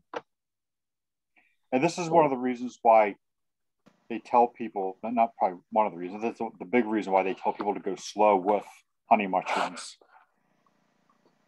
So he, um, so I think there's four species. I don't want to go deep into this because I'm I'm not really super qualified to talk on all these different species. But he points out in here, Armillaria mellea, this yellow one, has the brown or yellow caps that are often darker in the center, with the white gills that are pretty attached, and I, I find them to be pretty decurrent, right? With that thick yellow uh, ring that we saw some of this these earlier and these are the ones that are often like really, really clustered together like that, super tight. Yeah, and and Luke, I appreciate that stance. I think we should talk a, a little bit. If anyone has knowledge about honey mushrooms, I mean, we saw so many on Sunday. I've been seeing a lot the last couple days outside of the Pine Barrens, so I'm mm-hmm. sure a lot of people are finding these. Let's talk about yeah. them. You know. Yeah. Well, this is the one. People have information. Yeah, this is the one that uh, Dorothy was just showing, right? Gallica. Right? Brown or darker at the disc. Right? Isn't that what you said you had, Dorothy? Gallica. Right? Yes. Gills that are white, slightly decurrent, but uh, they're saying white, but these are look these look considerably darker than white to me, right? Yeah, some of at least one of the species of Armillaria has gills that start to darken in age. Yeah. Uh, the spores are white, but the gills get kind of dark. And if you boil them, there's there's at least one kind, um, one species that when I boil them, the gills get pretty dark. You know, and, and you'll see some if you have more than one species in the batch that you're boiling, you'll see white gills and dark gills, and it's kind of a little bit disconcerting because uh, you think you might have, you know, pick something that's wrong. Um, even on the even on the transfer home, I find with these honey mushrooms, those gills they change color. So like what I observed in the field, by the time it gets home, it's a different color. You know. Hmm, Yeah, okay, yeah, yeah. I, I've never really paid that close attention, but that's that's a good point. Something to look for. yeah, and I can This see one that. looks a little funny here in the lower right. That ring looks pretty membranous actually for Yeah. Gallica, but Yeah. but um, You know, these are I- tricky. They're tricky. I mean, Mellea is usually really yellow, and it's got this scant um, ornamentation that's usually only in the middle of the cap, and it's and the and the ring is pretty persistent and membranous. So Mellea, I'm I feel pretty confident with. Usually Gallica, and then you get into these ones, Solidipes, So over here, um, uh, Gemina. Yeah, there's a Um, Gemina. Yeah, There's there's a Solidipes, oh, yeah. Ostoyae really, I, I honestly, I don't know how to tell them. so they're syno- he's synonymizing Solidipes and Ostoyae. Okay, Um, okay. and he's saying that's primarily Western and Central U.S. Again, this is one guy who's pretty well respected, but I I'm not I can't Yeah, it's a- it's vouch a- for that. It's a nice thing to to try to put out there. Yeah. And Um, then of course by the way, is it is Desarmillaria? You know, I think it- somebody may have told me recently that Desarmillaria is now going to be deprecated and they're going to put them back into armillaria. These Ah. ringworks. uh, maybe I don't know. I've I've heard I don't think so. for a couple of years people really Okay, back and forth okay. Okay, So here's Armillaria tabescens, which is the old name. So now we're calling it Des Armillaria caespitosa. So these are the ringless ones, right? So no ring on it. Um, tapers at the base, and usually growing in these clustered, uh, you know, these groups. So the big takeaways here are these guys are ringless and growing in these clusters, usually on buried wood, right? These have the rings, usually growing these clustered clusters on wood or very close to wood. And these guys, Gallica, these are the ones you're usually finding on the ground, like singly or like in little troops. Those are the three that I personally feel like I see most often. If I've ever seen this other one up here, this Solidipes, I've been You want to see it? Come I've been over. un- I've been unclear. I have them, tons of them in the woods. How do you know the difference between solidipes and uh, Gallica? Gallica is lighter.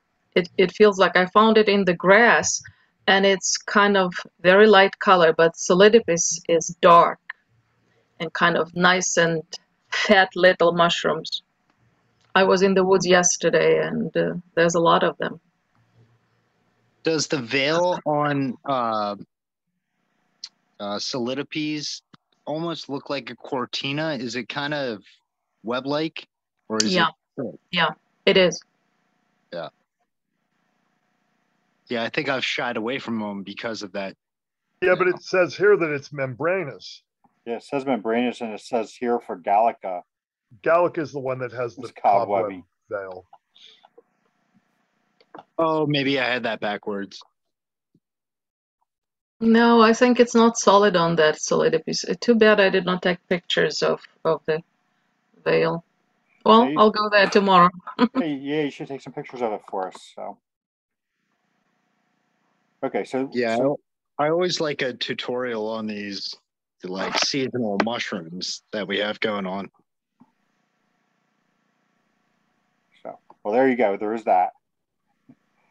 Uh, Desarmillaria or armillaria tabescens, whatever it's been called. I found that mostly in September. I haven't seen any of that in quite some time. Yeah, Maybe late, late August, early September this year. yeah, that's typical. I think that the Des, Ar- shows up earlier, like late summer. You might still see it now, but it definitely is like that one that comes up late in the summer. Yeah. Whereas the other ones, you know, the Mellea and the uh, Gallica, we're seeing now like super abundantly. Yeah, that's In, interesting. in the in the southeast, they get Des malaria before the summer sometimes, like June, early June. wow. Yeah, it's I think Desarmillaria is a little harder to pin down to, to the time the timing. Um, they seem to come out at when they want to. It maybe maybe they're maybe it's just a certain fluctuation in temperatures, soil temperature or something, you know, that brings them out. But um, I found them early and I found them late uh, in Northeast PA. They're not very common here. I don't find them every year. Last year I was collecting them in September. This year by September they were all dead.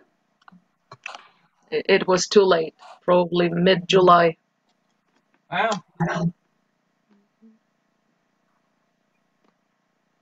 Okay, have we had enough of honey mushrooms yet?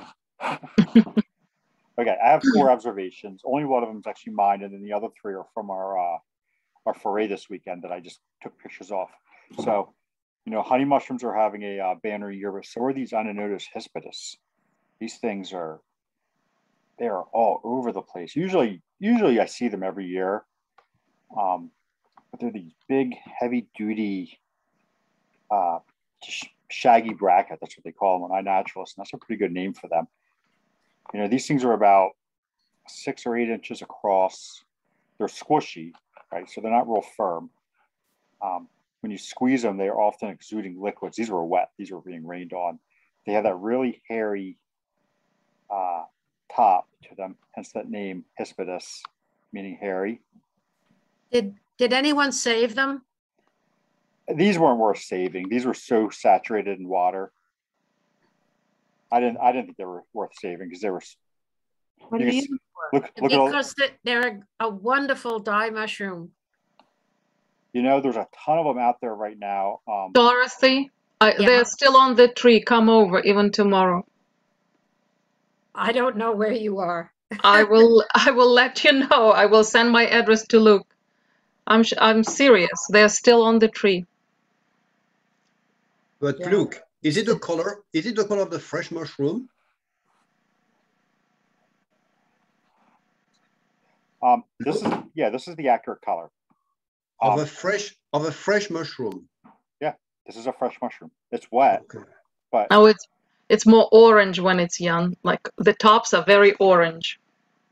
Yeah, they can be really bright orange. Mm-hmm. But what was orange, this one? Orange, orange to brown. They have a kind of a yellowish, brownish yellow spore uh, pore surface, which bruises. This one doesn't show any bruising on there, but if you touch it, does it, it bruise. And does it have like pearls underneath? It that's, seems that we see some drops, right? That's, that's just liquid. It does exist. I think it, it, has a guttation going on. So that's that's guttation there. That's all just water. This is literally water running off of it. there's, I think there's spider webs on it too that are and spider water. webs. Yeah. Yeah. It was a wet weekend. yeah. What are these called, Luke? Inonotus hispidus. They're super soft, like velvety on top, mm-hmm. squishy like a sponge. Yeah. When they get old, they turn blackish. Hmm. Yeah. If anybody wants goes down to the Pine Barrens right now, just look around. You'll find tons of them. They're all over the place right now. Yeah. Yeah. All of South, all of South Jersey. They're everywhere right now. Oh, Susan Hopkins was wanting to go to the Brendan Byrne foray, but she didn't make it down from from upstate New York. But this was one of the mushrooms that she wanted to collect because it's such a good uh, dye mushroom. So I think she went. I think she went home with one at least. So oak. I don't. I don't think she was there. No, no. So anyway, this is on oak.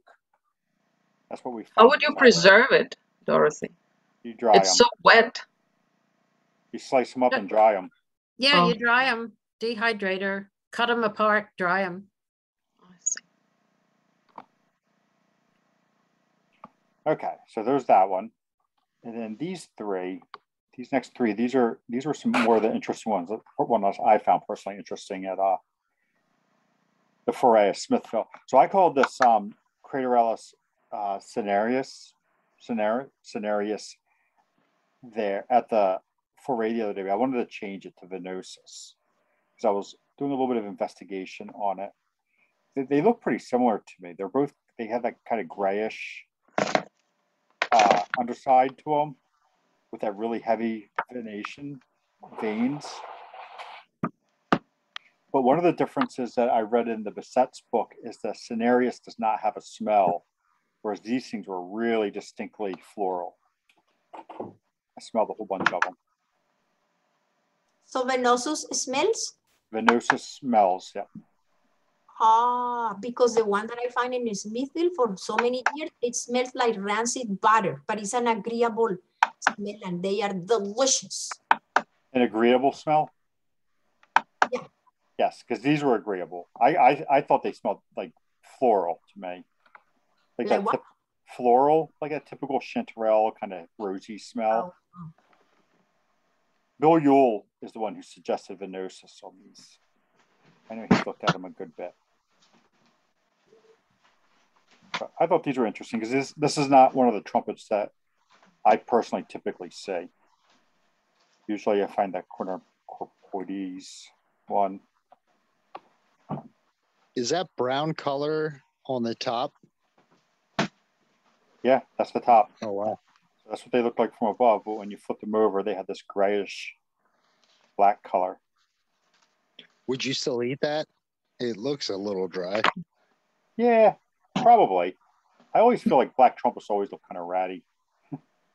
Fair, fair. But yeah, these these look pretty decent. They were they weren't like great, but yeah, if it wasn't South Jersey, I would have eaten it. You see all the sand all over them. It's not like they have gills that you need to clean through. You just wipe them off with a, you know, wet uh, rag. I don't know. I hate grit my food. I found these really nice chicken of the woods down in the Pine Barrens, and I grilled a whole bunch of them up, and they were still kind of gritty, even though they were like four feet off the ground.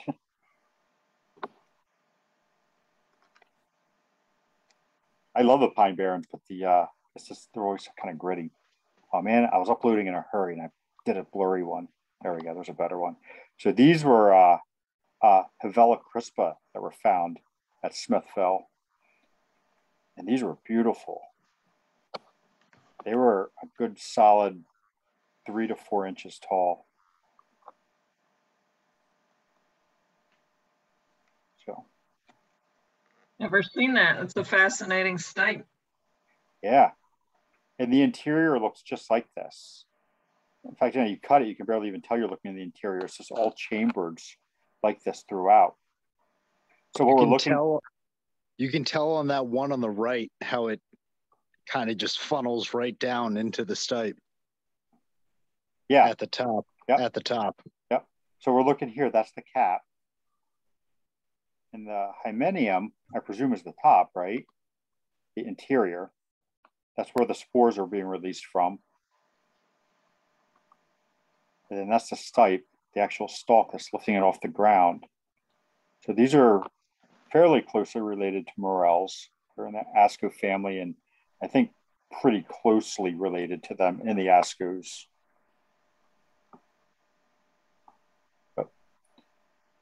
Isn't this type called lacunos? Lacunose. Hmm. I don't know the def. I've heard that word, but I don't know the definition of it. Okay. Yeah, yes, that's what I heard them called. Lacunose. Those kind of holes. Yeah, chambered. Yeah. So I thought that was one of the more interesting ones from the foray. And then the final one I put in here, only because I've never seen this species, or if I did see it, it was only once before. Gyroporus rosio albus. Rosia albus. And I can't really speak much on them except that I, to me, it seemed it was something I don't normally see.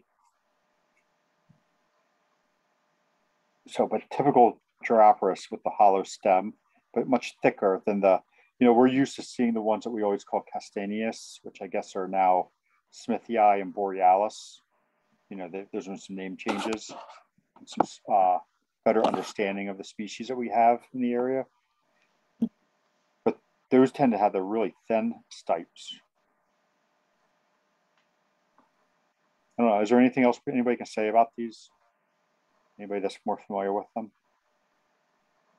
I went to Igor when I found one of those on the table and I said, this is the, the Castaneos group. And then he said to me, no, it's the Roseo, whatever name you said. Roseo albus. Roseo albus? Roseo albus, yes. Okay, cool. Because it looked kind of like the Castaneos. Do they belong to the same family? Did you say that? Yep, the same genus okay, as the okay. Castaneus group.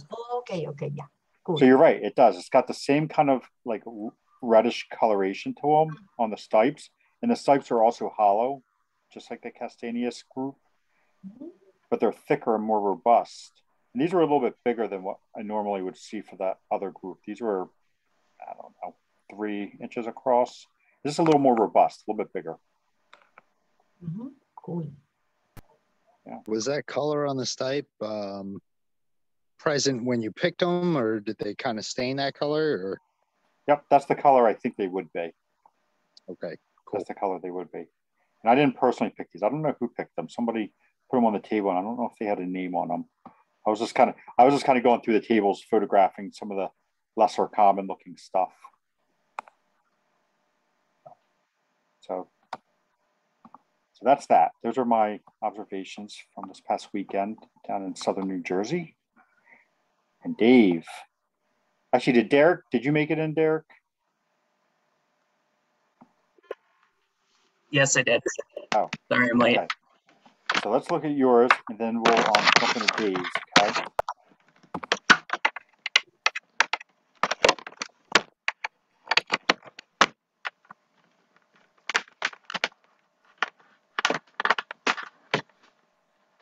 Okay. So this one I am sort of confident about. Um, I know that we were discussing last week how these can look really similar to um, Cortinarius. Um, so I found these just yesterday. And if you go to the last two pictures, um, I just uploaded the spore print. So that's on a black background, the color that it looks, and then the next picture is on a white background.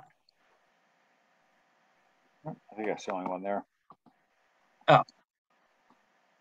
I must have not uploaded. But um, it looks kind of tannish on a on a white background. I mean, it looks kind of tannish on a black background too. Um, so even with the spore print, it's pretty hard for me to tell exactly what it is. Um, if anybody has any, Prob- Probably a Lepista, maybe Lepista nuda. Could also be Lepista irina. They're pretty similar. Hard to tell apart. Yeah, the pink, the pink spore print really is like, you know, a pale, pale pinky brown. So that's what you were thinking it was, but that's, that's what we usually call pink.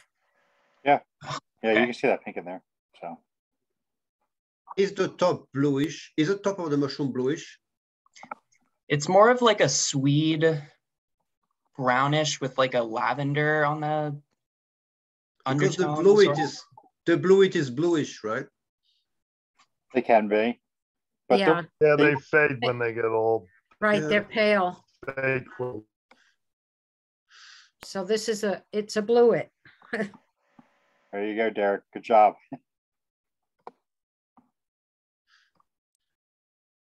Are you gonna eat it now? Um, Are you still still maybe tomorrow. Maybe tomorrow.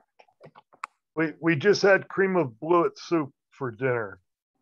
Oh yeah. Oh, yeah. Don't they say that's a really good way to do blewits because they're kind of soft and Soft. yeah. Yeah, So like, yeah. I um, I take the young ones that are farmed and slice them and fry them and put them aside. And the older ones I fry up with um, um, well, I saute with uh, onion, celery, and a little bit of garlic, and put it all in the food processor with some chicken stock or vegetable stock, and Oh. process it. And then I add um, bechamel sauce, white sauce, also, and and then I put the pieces in that were separately sautéed. I also put quartered Brussels sprouts in too. That goes well in the soup. uh, Um, sounds awesome. All right, yeah, the Derek. Yeah, fluids sounds are really, really strong flavored, so they, the flavor can be spread out really well. You can also dice them up and make like a duxelles and put it in mashed potatoes. That's pretty good too. Are there any toxic lookalikes? Are Okay, there any that- toxic lookalikes? Yeah, Cortinarius. All right, Right. Derek. Let's let let's let you get into your last one, okay? Calvatia rugosa. I think that's one we Yeah, so this one- often. Yeah, I thought this was interesting. Um, it's it, it was quite big, maybe four inches, and clearly a puffball shape, as you can kind of see better in the other picture. But what was super interesting about it was the staining. Um, so it stains a bright orange when you slice it, or when it just naturally fissures open and then gets oxidized that way, I guess. Um, but yeah, super interesting, I thought. Yeah, you know what's really interesting is I've never seen this in my life. And the, just this year, I found it once, and then I've seen like on Facebook, just like at least two or three other observations of it right here in Philadelphia where I'm at, and now you hmm. have one. It's like all of a sudden, just out of nowhere. I've never seen that before. Yeah, you know, I looked it up on Mushroom Expert. He has got a whole page on it, and it seems like it's more common in the Midwest. That was the impression that I got. But uh, yeah, this was probably this must be the fourth observation of it I've seen this year.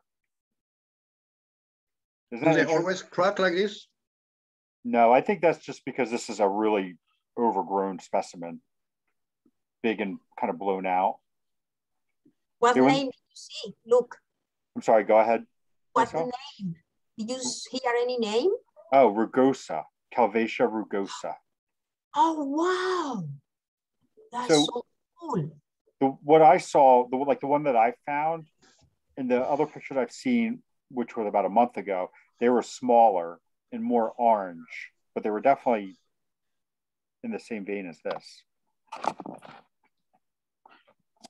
Do they grow just on meadows like other calvatia? Uh, where This you was find- on mulch. Yeah, you found yours on mulch. Okay. Mushroom expert says gardens, gardens like horticultural areas.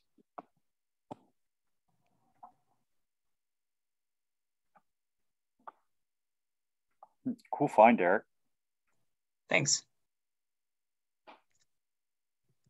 All right. Thanks for sharing, man. Okay, Dave. All right, I'm I'm catching up. Was on vacation for a week, missed a couple weeks, and I've got a lot of things I still need to put on Mushroom Observer, but I don't think I've shown this one yet. May I may have before I left. Um, I think this first one, oh no, this was from this was from the Adirondacks. Um, Karen and I met uh, Susan Hopkins. She took us to a spot, um, Rock Creek or Rock Pond Trail near uh, Blue Mountain, and there was like unbelievable diversity that day. Saw lots and lots of mushrooms. So this is Porphyrellus. Uh, used to be Tylopilus, um, and I believe this is Porphyrellus. I think it's a Porphyrosporus or something like that. Uh, I haven't written. Well, it's here. It's Mushroom Observer, so the name is is, is provided. Uh, so it's like this dark sort of bolete. It's got sort of a dark uh, pore surface. Um, and I should have cut these and and taken a picture of of staining. Um, I didn't think of it at the time because we were just finding so many mushrooms. So, but I got a couple of pictures of that. And um, you can move on to the next one, really.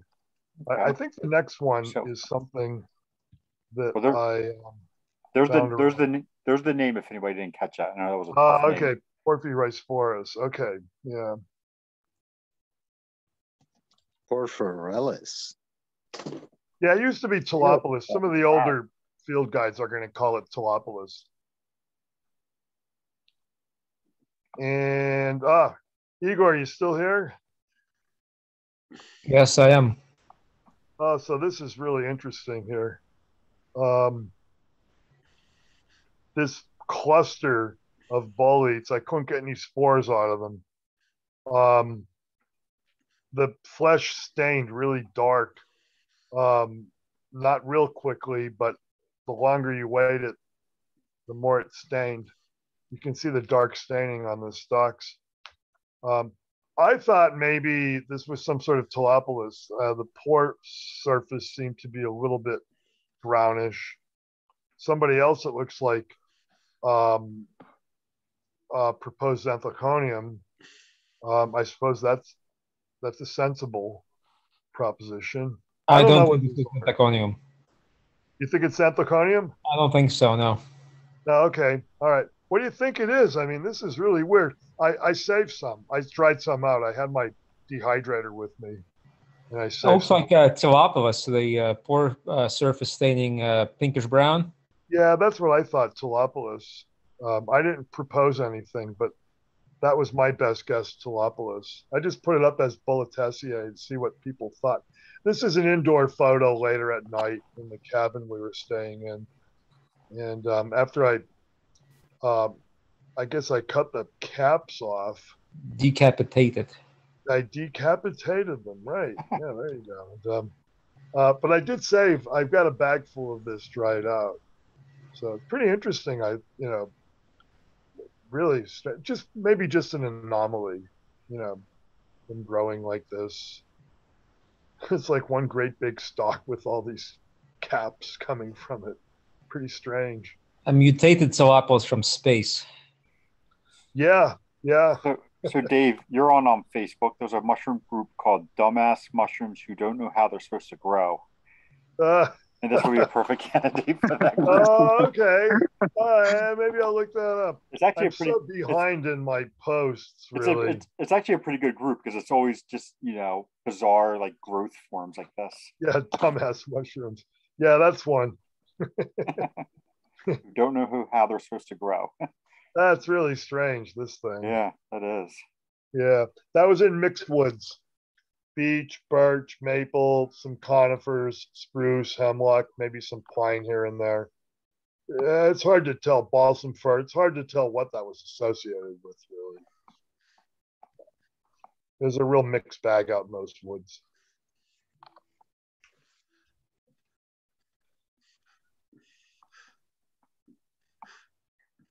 Okay, so when we had our uh, NJMA foray at Kittle Field uh, in Stokes, we found some um, Tricholoma fulvum. We ended up thinking they were that had yellow gills. It was a real head scratcher. And then I found on Champignon du Quebec um, that they have proposed a sort of, I don't know if they're saying it's a variety or what, of Tricholoma fulvum that has yellow gills. And then I seem to find, well, I didn't find it. It was collected at a um, Wyoming Valley Mushroom Club foray at Moon Lake Park in Oakwoods. Um, looks like the same thing. Looks like a Tricholoma fulvum with yellow gills. So just an interesting thing.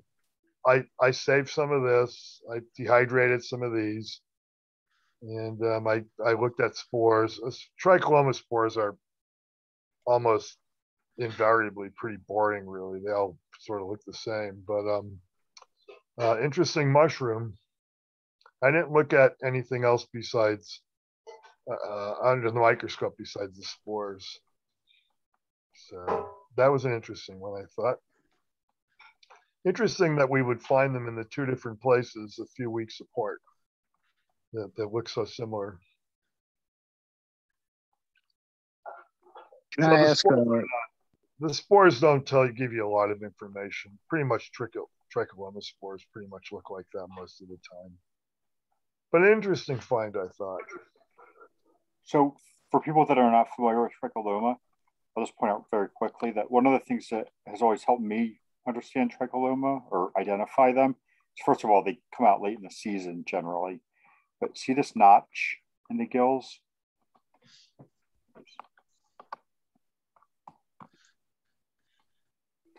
See where the gills attach to the stem? See that notch in there? Tricholomas almost invariably have that notch in them. Yeah, and white spores, they're all white spored and terrestrial. So generally, you don't start seeing tricholomas until about now, in our area, in our area, like southern New Jersey at least, and probably Same not here. probably not much. Yeah, sooner up north. Same here. The one exception might be Tricholoma saponaceum. Sometimes you'll see that early, um, but I haven't. I don't see that very often around here. But yeah, generally speaking, the tricholomas start up in September, and they and they persist late into the season. Mhm. So we and saw some of them don't even come out till November. Yeah, it seems like you in the Pine Barrens. I mean, you you have to go down there after it gets darn cold before you even see them. Right. So we saw a lot of Tricholoma odorum this weekend at Smithville, like quite a bunch of it. Yeah, I've been seeing that one too. It's been it's been out on my property uh, for quite a while actually. That one actually started up kind of early, early September. I started seeing a few of them here on my property. Uh, seems seems to be associated maybe with hickory, the ones I was finding. We even Okay, found so- them at the uh, Stokes foray in in uh, in August, growing with Yeah, hemlock. y- yeah, yeah, yeah. They seem to they seem to start up kind of early, at least this year. hmm Um, so I don't think I showed this yet. Uh, no, I don't think I did because this I found these right before I went on vacation, and uh, these were collected at um, Wyoming Valley Mushroom Club Foray. We found two groups of them, and this is sometimes called the gypsy. I'm not sure why they call it the gypsy. Uh, they do tend to grow in groups. Um, and in the past, I found this Cortinarius caperatus, which in older field guides, it's going to be Rozites caperatus or caperata, Rozites caperata, because it used to be put into its own genus, but now it's been put into Cortinarius. It's the only Cortinarius that I that I think is worth eating. And in fact, some Cortinarius are poisonous, and you really should not experiment with them.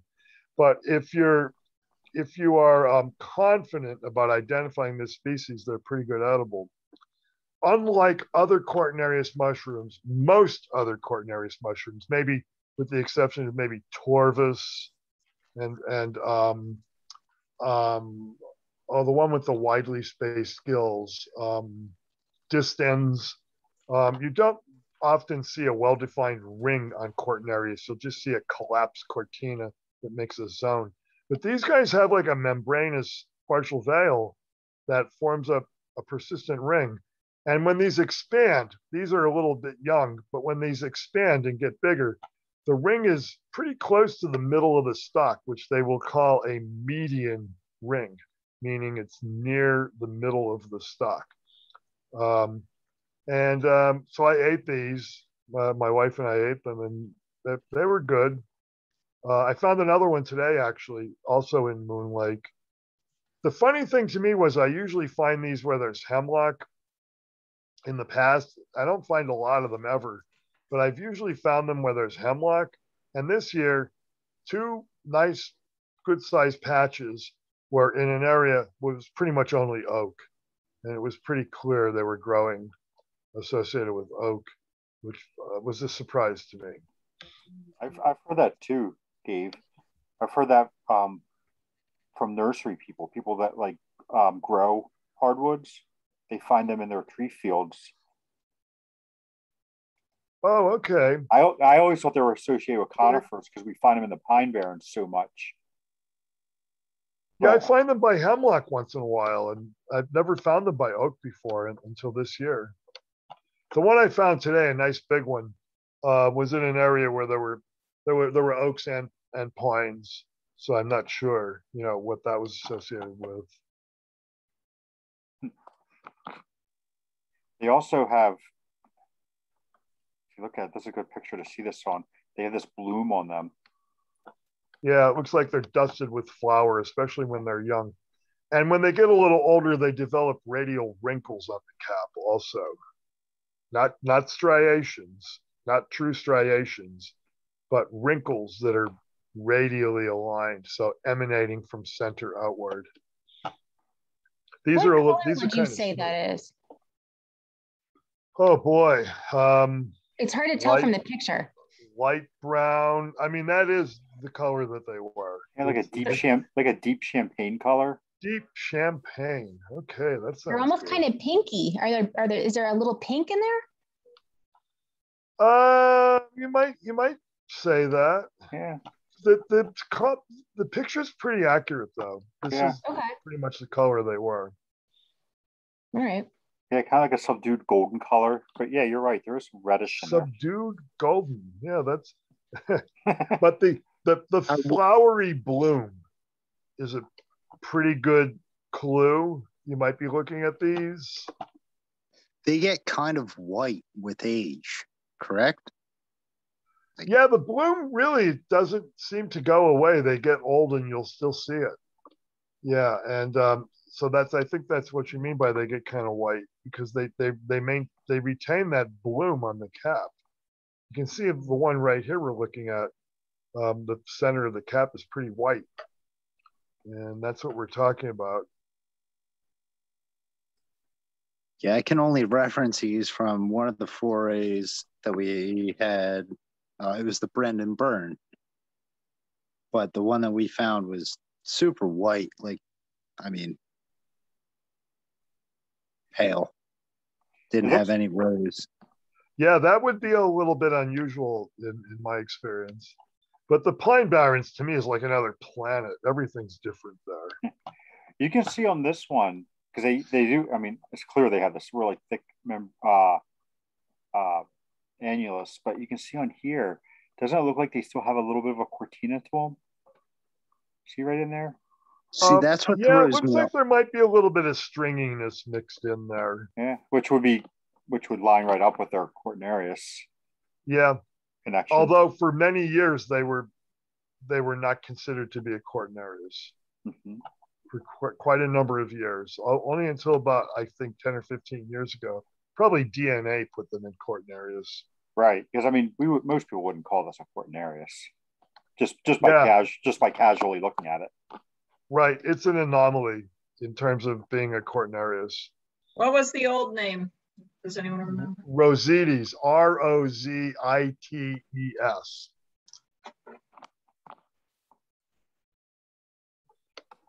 All right. And it was, Last- Ca- I think it was Caperata, not Caperatus, or it might be the other way around. I only learned that mushroom two weeks ago, but I thought it was a Stropharia for the entire time that I've seen it. Yeah, Yeah. yeah, that that would be Yeah. a reasonable um, um, confusion until you get a spore print. Yeah, I can see that too. Yeah, the spore Stropharia have really dark, grayish, purplish brown spore prints, and um, and this guy has a spore print that's not all that different from the typical Cortinarius. It's uh, brown with a little bit of a rusty tinge. Oh wow.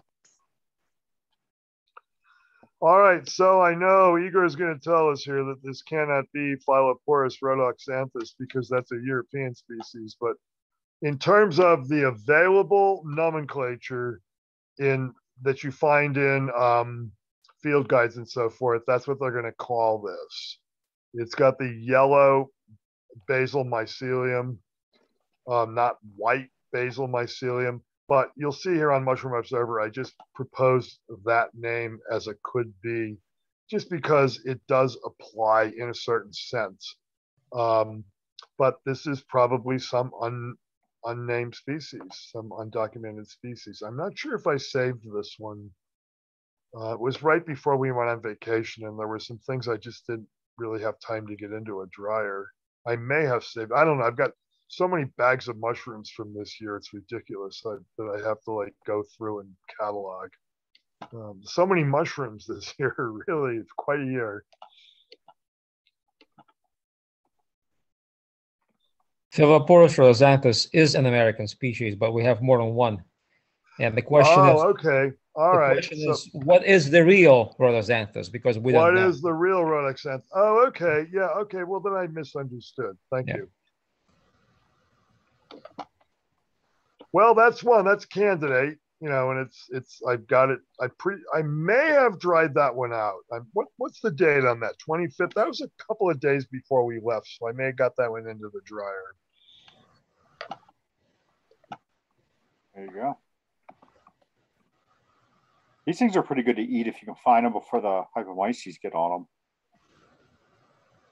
Yeah, before they spread out too much too. you Yeah, know. when they're like small, like little buttons. Yeah, this one would have been good to eat actually. They're pretty common in my area. So in the middle of the summer when I'm like camping, that's when I eat more mushrooms than ever is when I'm camping. So I don't have anything else to do. I'll, I'll, I'll- I'll collect a lot of these sometimes because they're pretty common.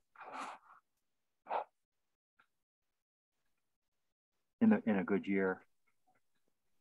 And just for those of you who aren't sure what this would be commonly called, it's called a gill bully, which is an oxymoron, more or less.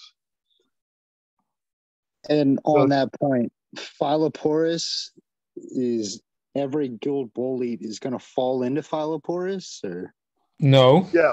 Uh, oh no, no, go ahead, go ahead, Igor. Um, one species that used to be called Phylloporus boletinoides is not a Phylloporus. I forget what genus it was transferred to, but it's not a Phylloporus anymore. Oh really? Wow, that's interesting. I didn't know that. Thanks. Yeah, I think it's uh. That's this. That's the genus name. Oh well, yes, that's, that makes sense. Phylloporopsis boletinoides. yes, and that one you find in the pine barrens. It doesn't grow anywhere else. Oh, interesting. All right. Yeah, there was a paper a couple of years ago. I have it, of course. It's old news now. and if I'm being honest, how do you tell that that's a false? You know, that's a that's a polypore. Like, how do you tell that's a false gill? Because it looks like a real gill to me. They are gills, but uh, if you look closely, you would see that there's intervening and uh, all these septa that connect these things, and they're kind of modified pores. And you know, it's possible that some boletes just develop gills um, spontaneously. You know, it's a plesiomorphic feature.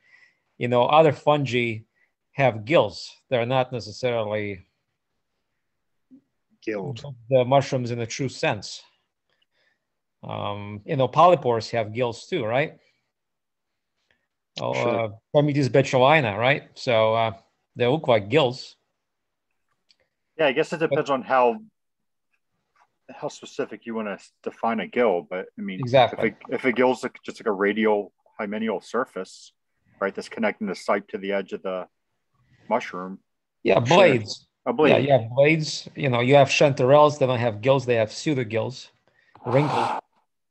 Same kind of idea. So we, we're, we're we're dealing with a feature that probably evolved more than once and at different points in times and independently, Mhm.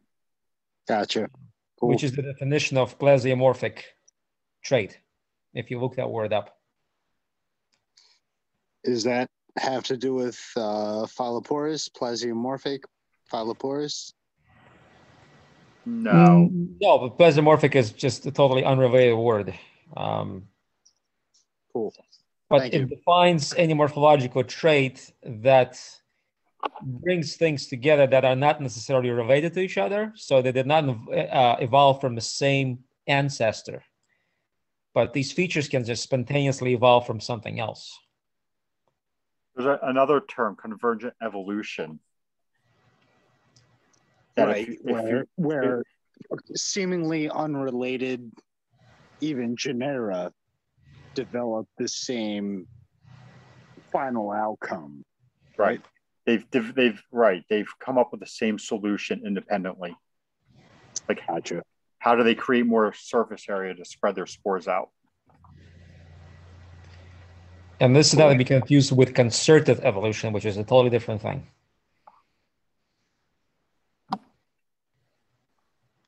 Oh, awesome. Uh, thank you dave good observation you're welcome. and that brings us to our conclusion of our regularly scheduled observations. I haven't read any uh any chats in a while. Looks like people are saying good night because it's getting late. So anyway i'm going to do the same. I want to thank everyone for coming and sharing and for a very good taxonomy tuesday session and i will leave my computer running if anybody wants to hang out and chit chat in the uh, after party but i'm going to say good night and i will see everyone next week Bye, Thanks, Luke. thanks, Luke. Good night. Night, Luke.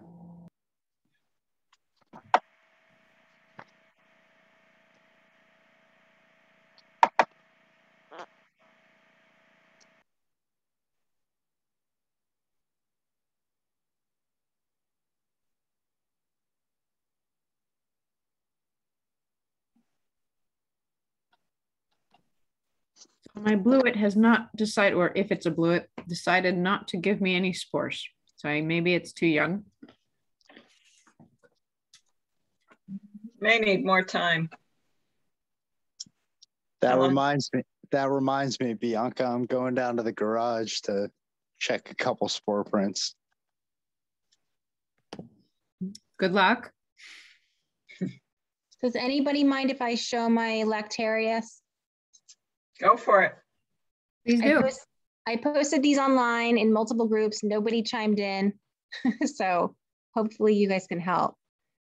I think they're Lactarius, but I'm not sure what species.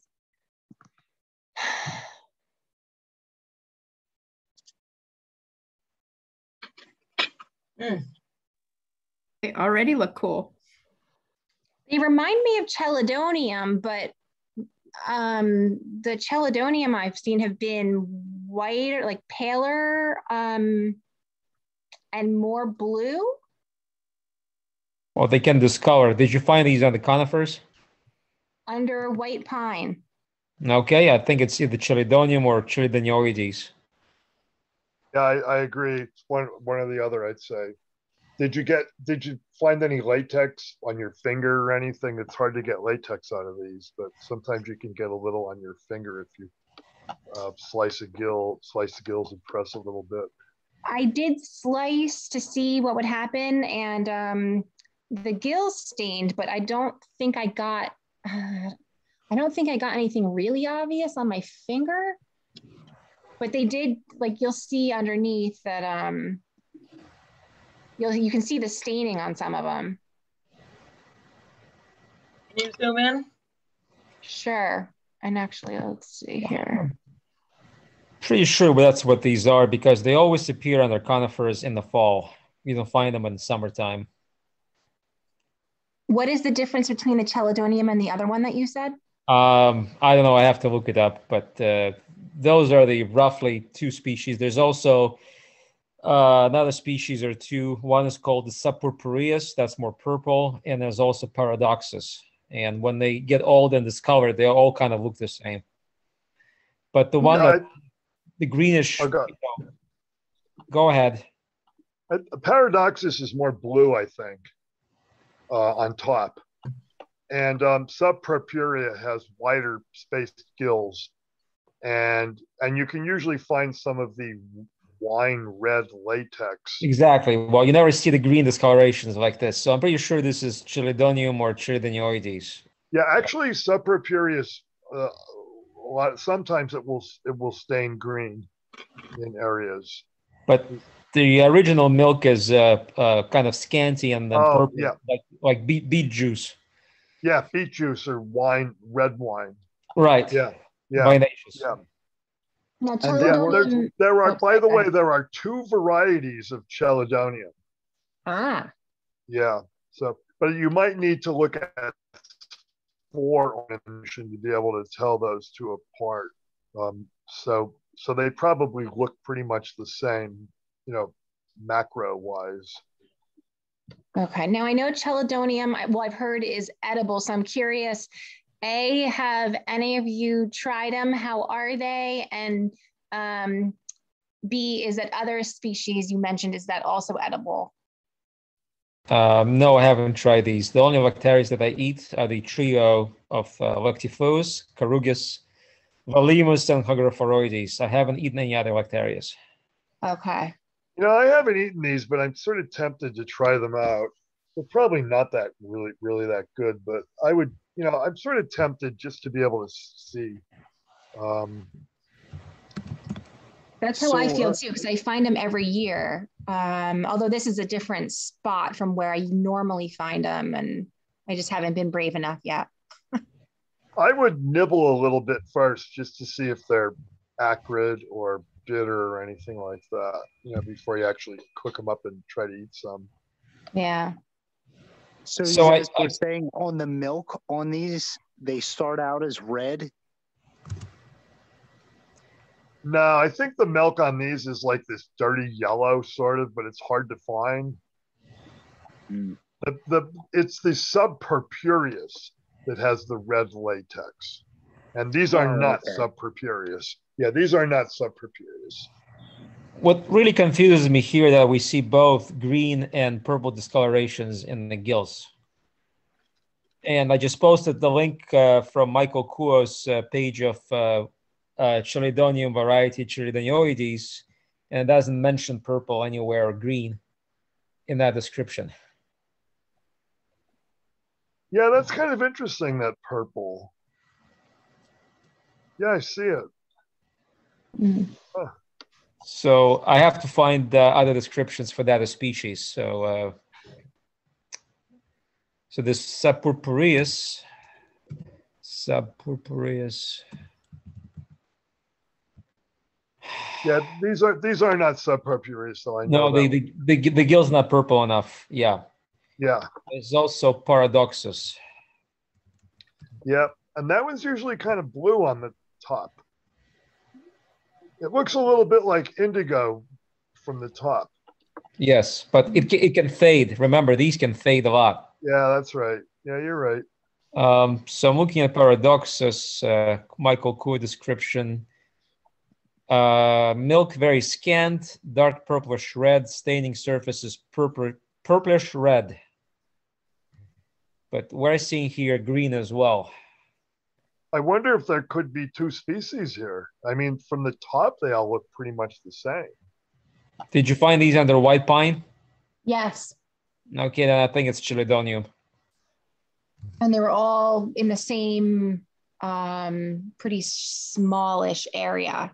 Like it's not like I was in what giant park and I found them on the opposite side, you know.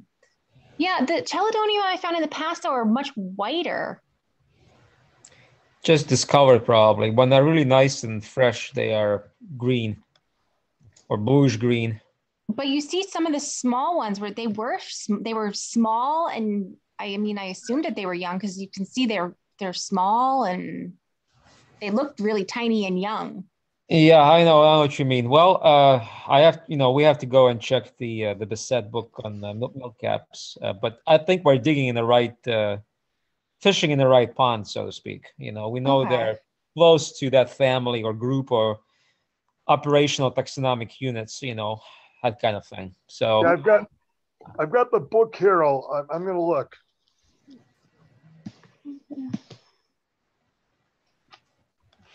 because I I see this green and purple at the same time, and it really confuses me.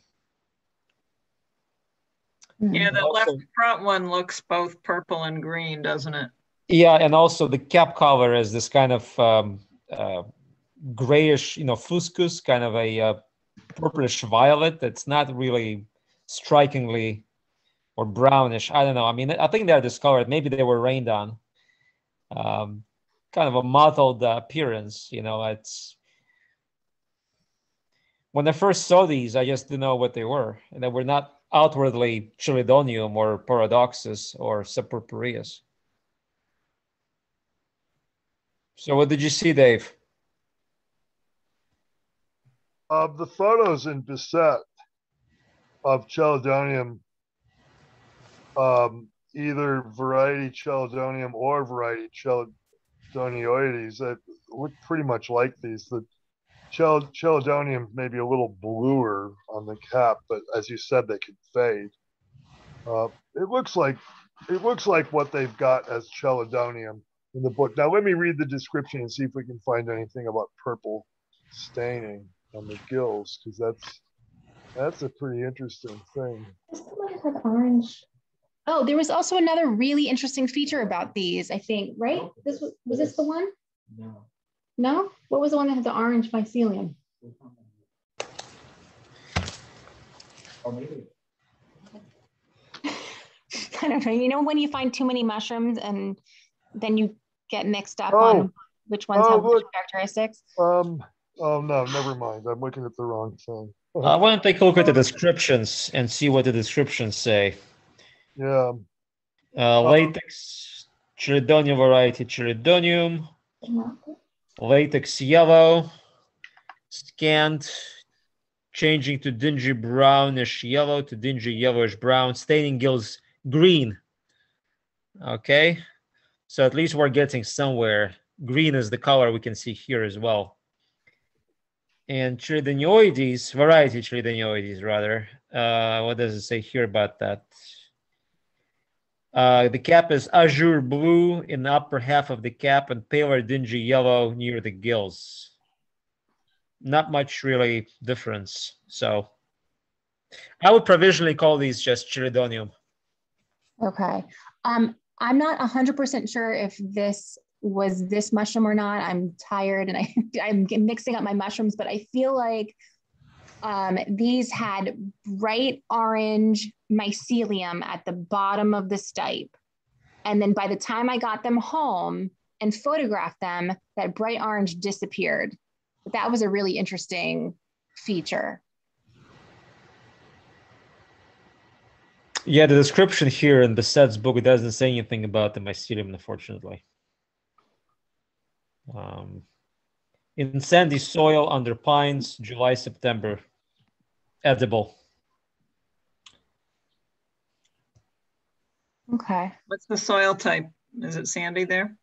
No. no. Gra- it was grassy. Yeah, but I've seen them here on my property too under white pine, which now are gone because uh, the evil board of trustees cut them down. they were they were growing in the soil that's not sandy either. So. Okay.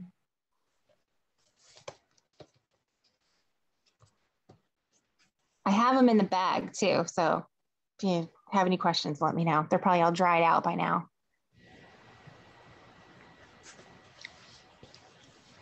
That's all I have though. That's it? I can find more. You want more? No, we're here. uh, I'll have to upload them. If anybody else has stuff to show, go for it. Lila has something. I can feel it in my bones. She's always so holding something back, you know, I got, I got, waiting for the right moment. I got, I got two things. One, one, I'll show you my first um, microscopy uh, photos I'm willing to share. So let's start with that. It's on a dull thing, but that we can't identify, but we'll try.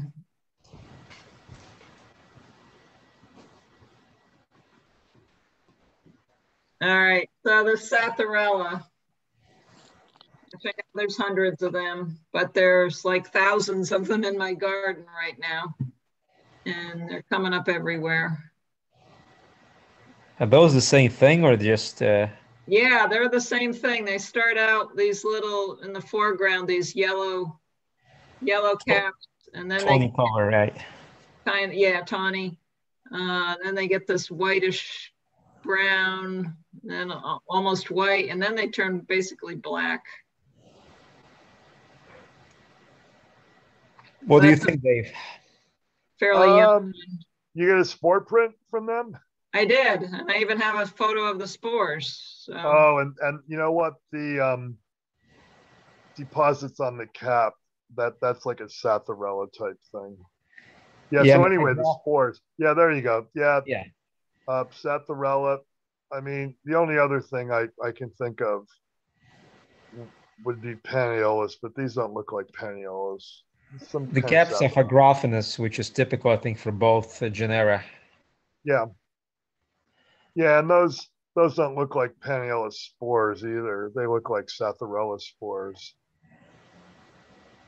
What kind of spores do uh, have? Uh, like lemon shaped. They're really big. Um, yeah, they, they have more. They're, they're not as boring as these. You know, these are just these sort of boring ellipses. You know, but pan, are a little. The spores have a little more character. You know, they're shaped a little, little bit more provocatively, and they're really dark too. They're you know under the scope. They're really dark. Yeah, so some kind of Psathyrella. Yeah, see if you can get a print on a black surface and see if you can see any any contrast. between the print and the black surface. All right, can I just move my slide over something black and see what it looks That- like? That that works to a certain extent, but if, when you have these really subtle contrasts, like really really pale uh, instead of white, my spore prints, or really about really dark instead of pure black, Yeah, um, getting the print right on the surface is is usually easiest to see the contrast. all right, I'll look for something black and take, take another. yeah, you know, if you can't find anything else, get a a gloss a piece of uh, paper out of a magazine that's that's got glossy black. And, and the reason why I say glossy is that magaz- glossy magazine paper tends to not absorb moisture readily. So you put stuff, you put take a spore print on um, um, regular paper, and it draws moisture out of the mushroom, and then that that changes what what the spore print looks like. Okay. Could at least. There, but there, there's some kind of stuff. Oh, wait. You know what? I um, mm, I was going to say. Okay, you know what? There, I think there's a couple of species of parasola that look like this. But you know what? Parasola do not have deposits on the cap. So I think that might rule that up. But parasola have black spore prints. Um, but the one you showed from when you showed the picture from top down, it looked like there were deposits on the cap. Yeah, and this, these up here at the top and the back have some kind of deposits on them too, these. I, I suppose the only other thing you might consider would be um, Coprinellus. Um, and those would have pure black prints. It's, I would say it's not exactly black. It's, it's a super, super dark brown. Uh, that that's that's Psathyrella then. Yeah, to, I would I think so. I'll, I'll see if I can get some more prints tomorrow on, on the shiny black. All right, so that was that one.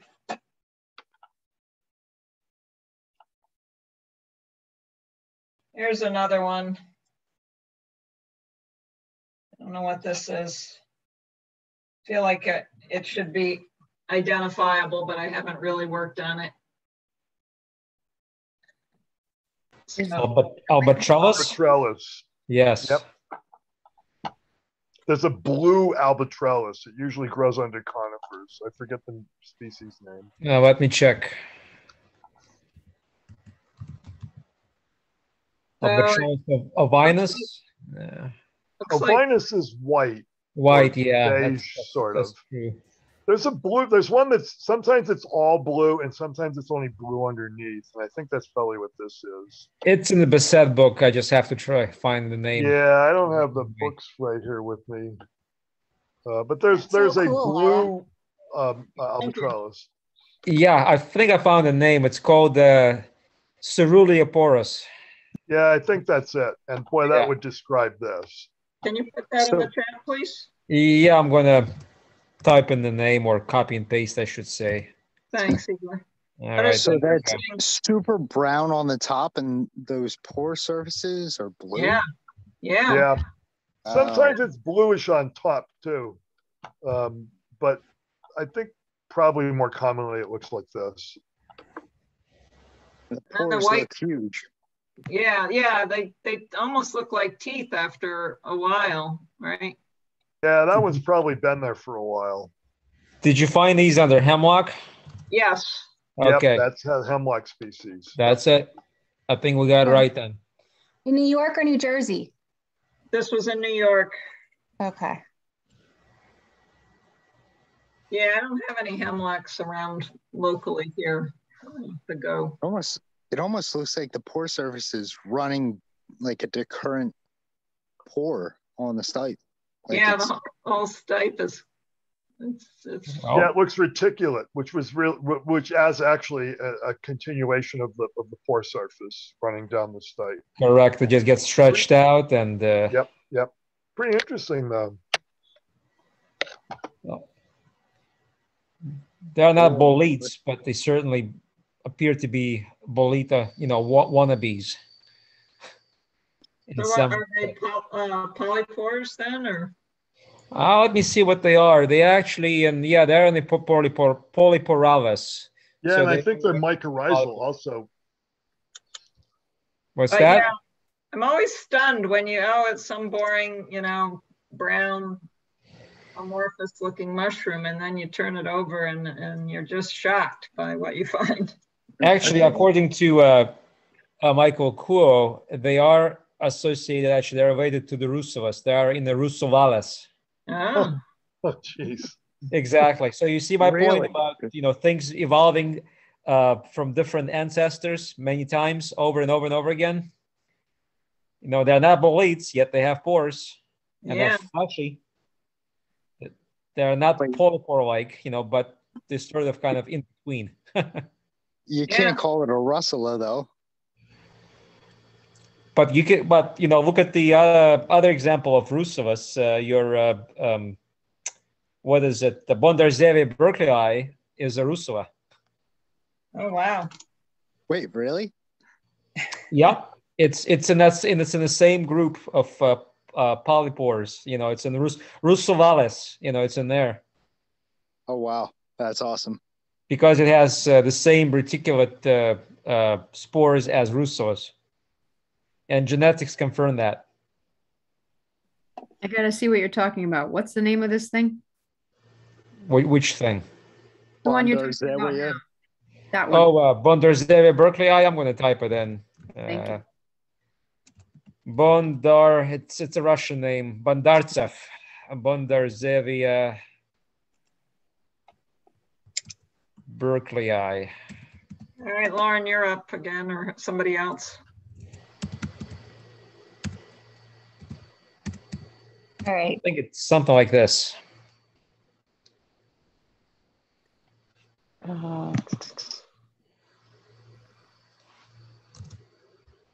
which is commonly confused for the Bondarzewia, at least, is commonly confused for uh, the hen of the woods. Sometimes it looks like a bleached out chicken of the woods, Laetiporus and Grifola. Yeah, so uh, uh, Kuo says that uh, the order Russulales contains, uh, you know, uh, things like Albatrellus, uh, Bondarzewia, Heterobasidion, uh, Russulas, you know, uh, uh, and and maybe even Zavabolos. So it's a very diverse uh, order, you know, having different kind of mushrooms that don't really look related to each other morphologically, but genetically they are in a sense, in a big group. Hmm. Very fascinating. Yeah. I'm gonna give you the link for that too, so you can take a look at it, see what's in it. Now, this is a tricholoma. Okay, that was my guess. Yeah, I- I And, think it's subluteum A subluteum um, or, or, De- uh, Davisiae. or, or fumosoluteum. Well, I don't know. I don't think I know that one. Or, well, uh, I know the fumosoluteum very well, but I don't does that think grow? grows with pines, with the pine barrens. Oh, plant. I, I should have guessed. And so we don't think this is subsejunctum, right? Subsejunctum is darker, Darker. Okay. but it could be. You know what? I don't think you can rule that out. But it's usually darker. Look at the look, at the gills that are turning yellow. Actually, I'm going to pull out my uh, Yeah, tricholoma. subseg- subsejunctum has gills that develop, a, especially along the margin, a little bit of yellow. It's usually darker though. The the three of them, and and and the other one you mentioned, Igor, but um, subluteum, Davisi, Davisiae, I think it's called, and subsejunctum can can be difficult to tell apart. I don't think this is Davisiae. I'm familiar with Davisiae. I can actually ID it from pictures alone. It has a very Yeah. unique look. Davisiae has the the sharp umbo, I believe. So maybe we can rule that out here. More importantly, it has tiny fibrils on the edges of the cap as as as the as Oh, the okay. All right. So subluteum, subsejunctum, and uh, fumosa luteum. Fumosa luteum. You know what? I might have the. Oh, I have the Tricholoma book here. So do I. I happen to have it right here. Fum- what was that? Fumosa luteum? I don't know that one. Yeah, fumosa luteum, I think, has more of a. Uh, uh, it's a uh, fumoso luteum means smoky yellow. Uh huh. So it has Yeah. a very glabrous, very naked cap, almost like um, waxy, you know, to touch. Yeah, the picture in the in the Tricholoma book is is quite brown actually, but it's not it's not the best picture in the world to be honest. It's kind of dark. For fumosa luteum, Yeah, Fumosa luteum in the in the um in the the Tricholoma book, it looks very brown, and the gills don't appear to have any yellow on them. Let, let me read the um description. I have an observation of fumosa luteum on, on, a, on a mouse, so I can probably post it here so you can take a look at the uh, at the Uh-huh. Yeah, the description, the gills don't mention any yellow for Fumosa luteum. Um, It's not fumosa luteum. It's uh, it, the, the the one that is shown here. Uh, is it uh, Bianca's or is it uh, Lauren's? I forget. This is mine. I think it's subluteum. It's either subluteum or it's you know from the subs. No, subsejunctum and sejunctum. You know, it's a species complex, and uh, I think sejunctum is European. But Uh, we do have European tricholomas here in eastern North America. We do Uh-huh. have, so you have to be careful.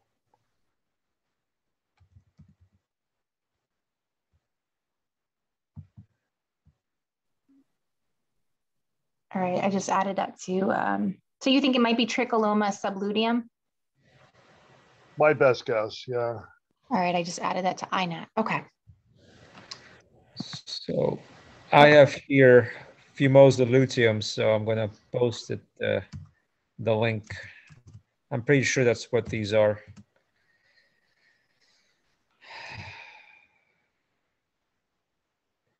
And I do have a specimen.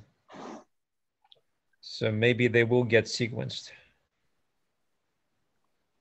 Maybe they did get sequenced already. I have to check.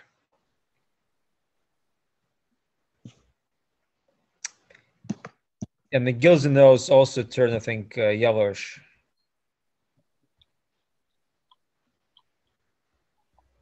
Wait, is this uh, uh, the same specimen that Lauren just presented? What is this? What, what this? It's some sort of a Nasibaceae. Yes, I think Oh. so too. Okay. Yeah, like a It had like a black spore print. You got a, oh, it's not, if you got a black Oh, sport print, like then it's Lacrimaria. Maria. Lacrimaria like Ramabunda, yes. Yeah, yeah, or one of the Lacrimaria. There's like three species. But um, wow, that's a tricky one. Ha ha, you got us. All right, let me uh, show you the underside. Yeah, let's see the underside. It was kind of hard to photograph because it was so close. Yeah, a young one.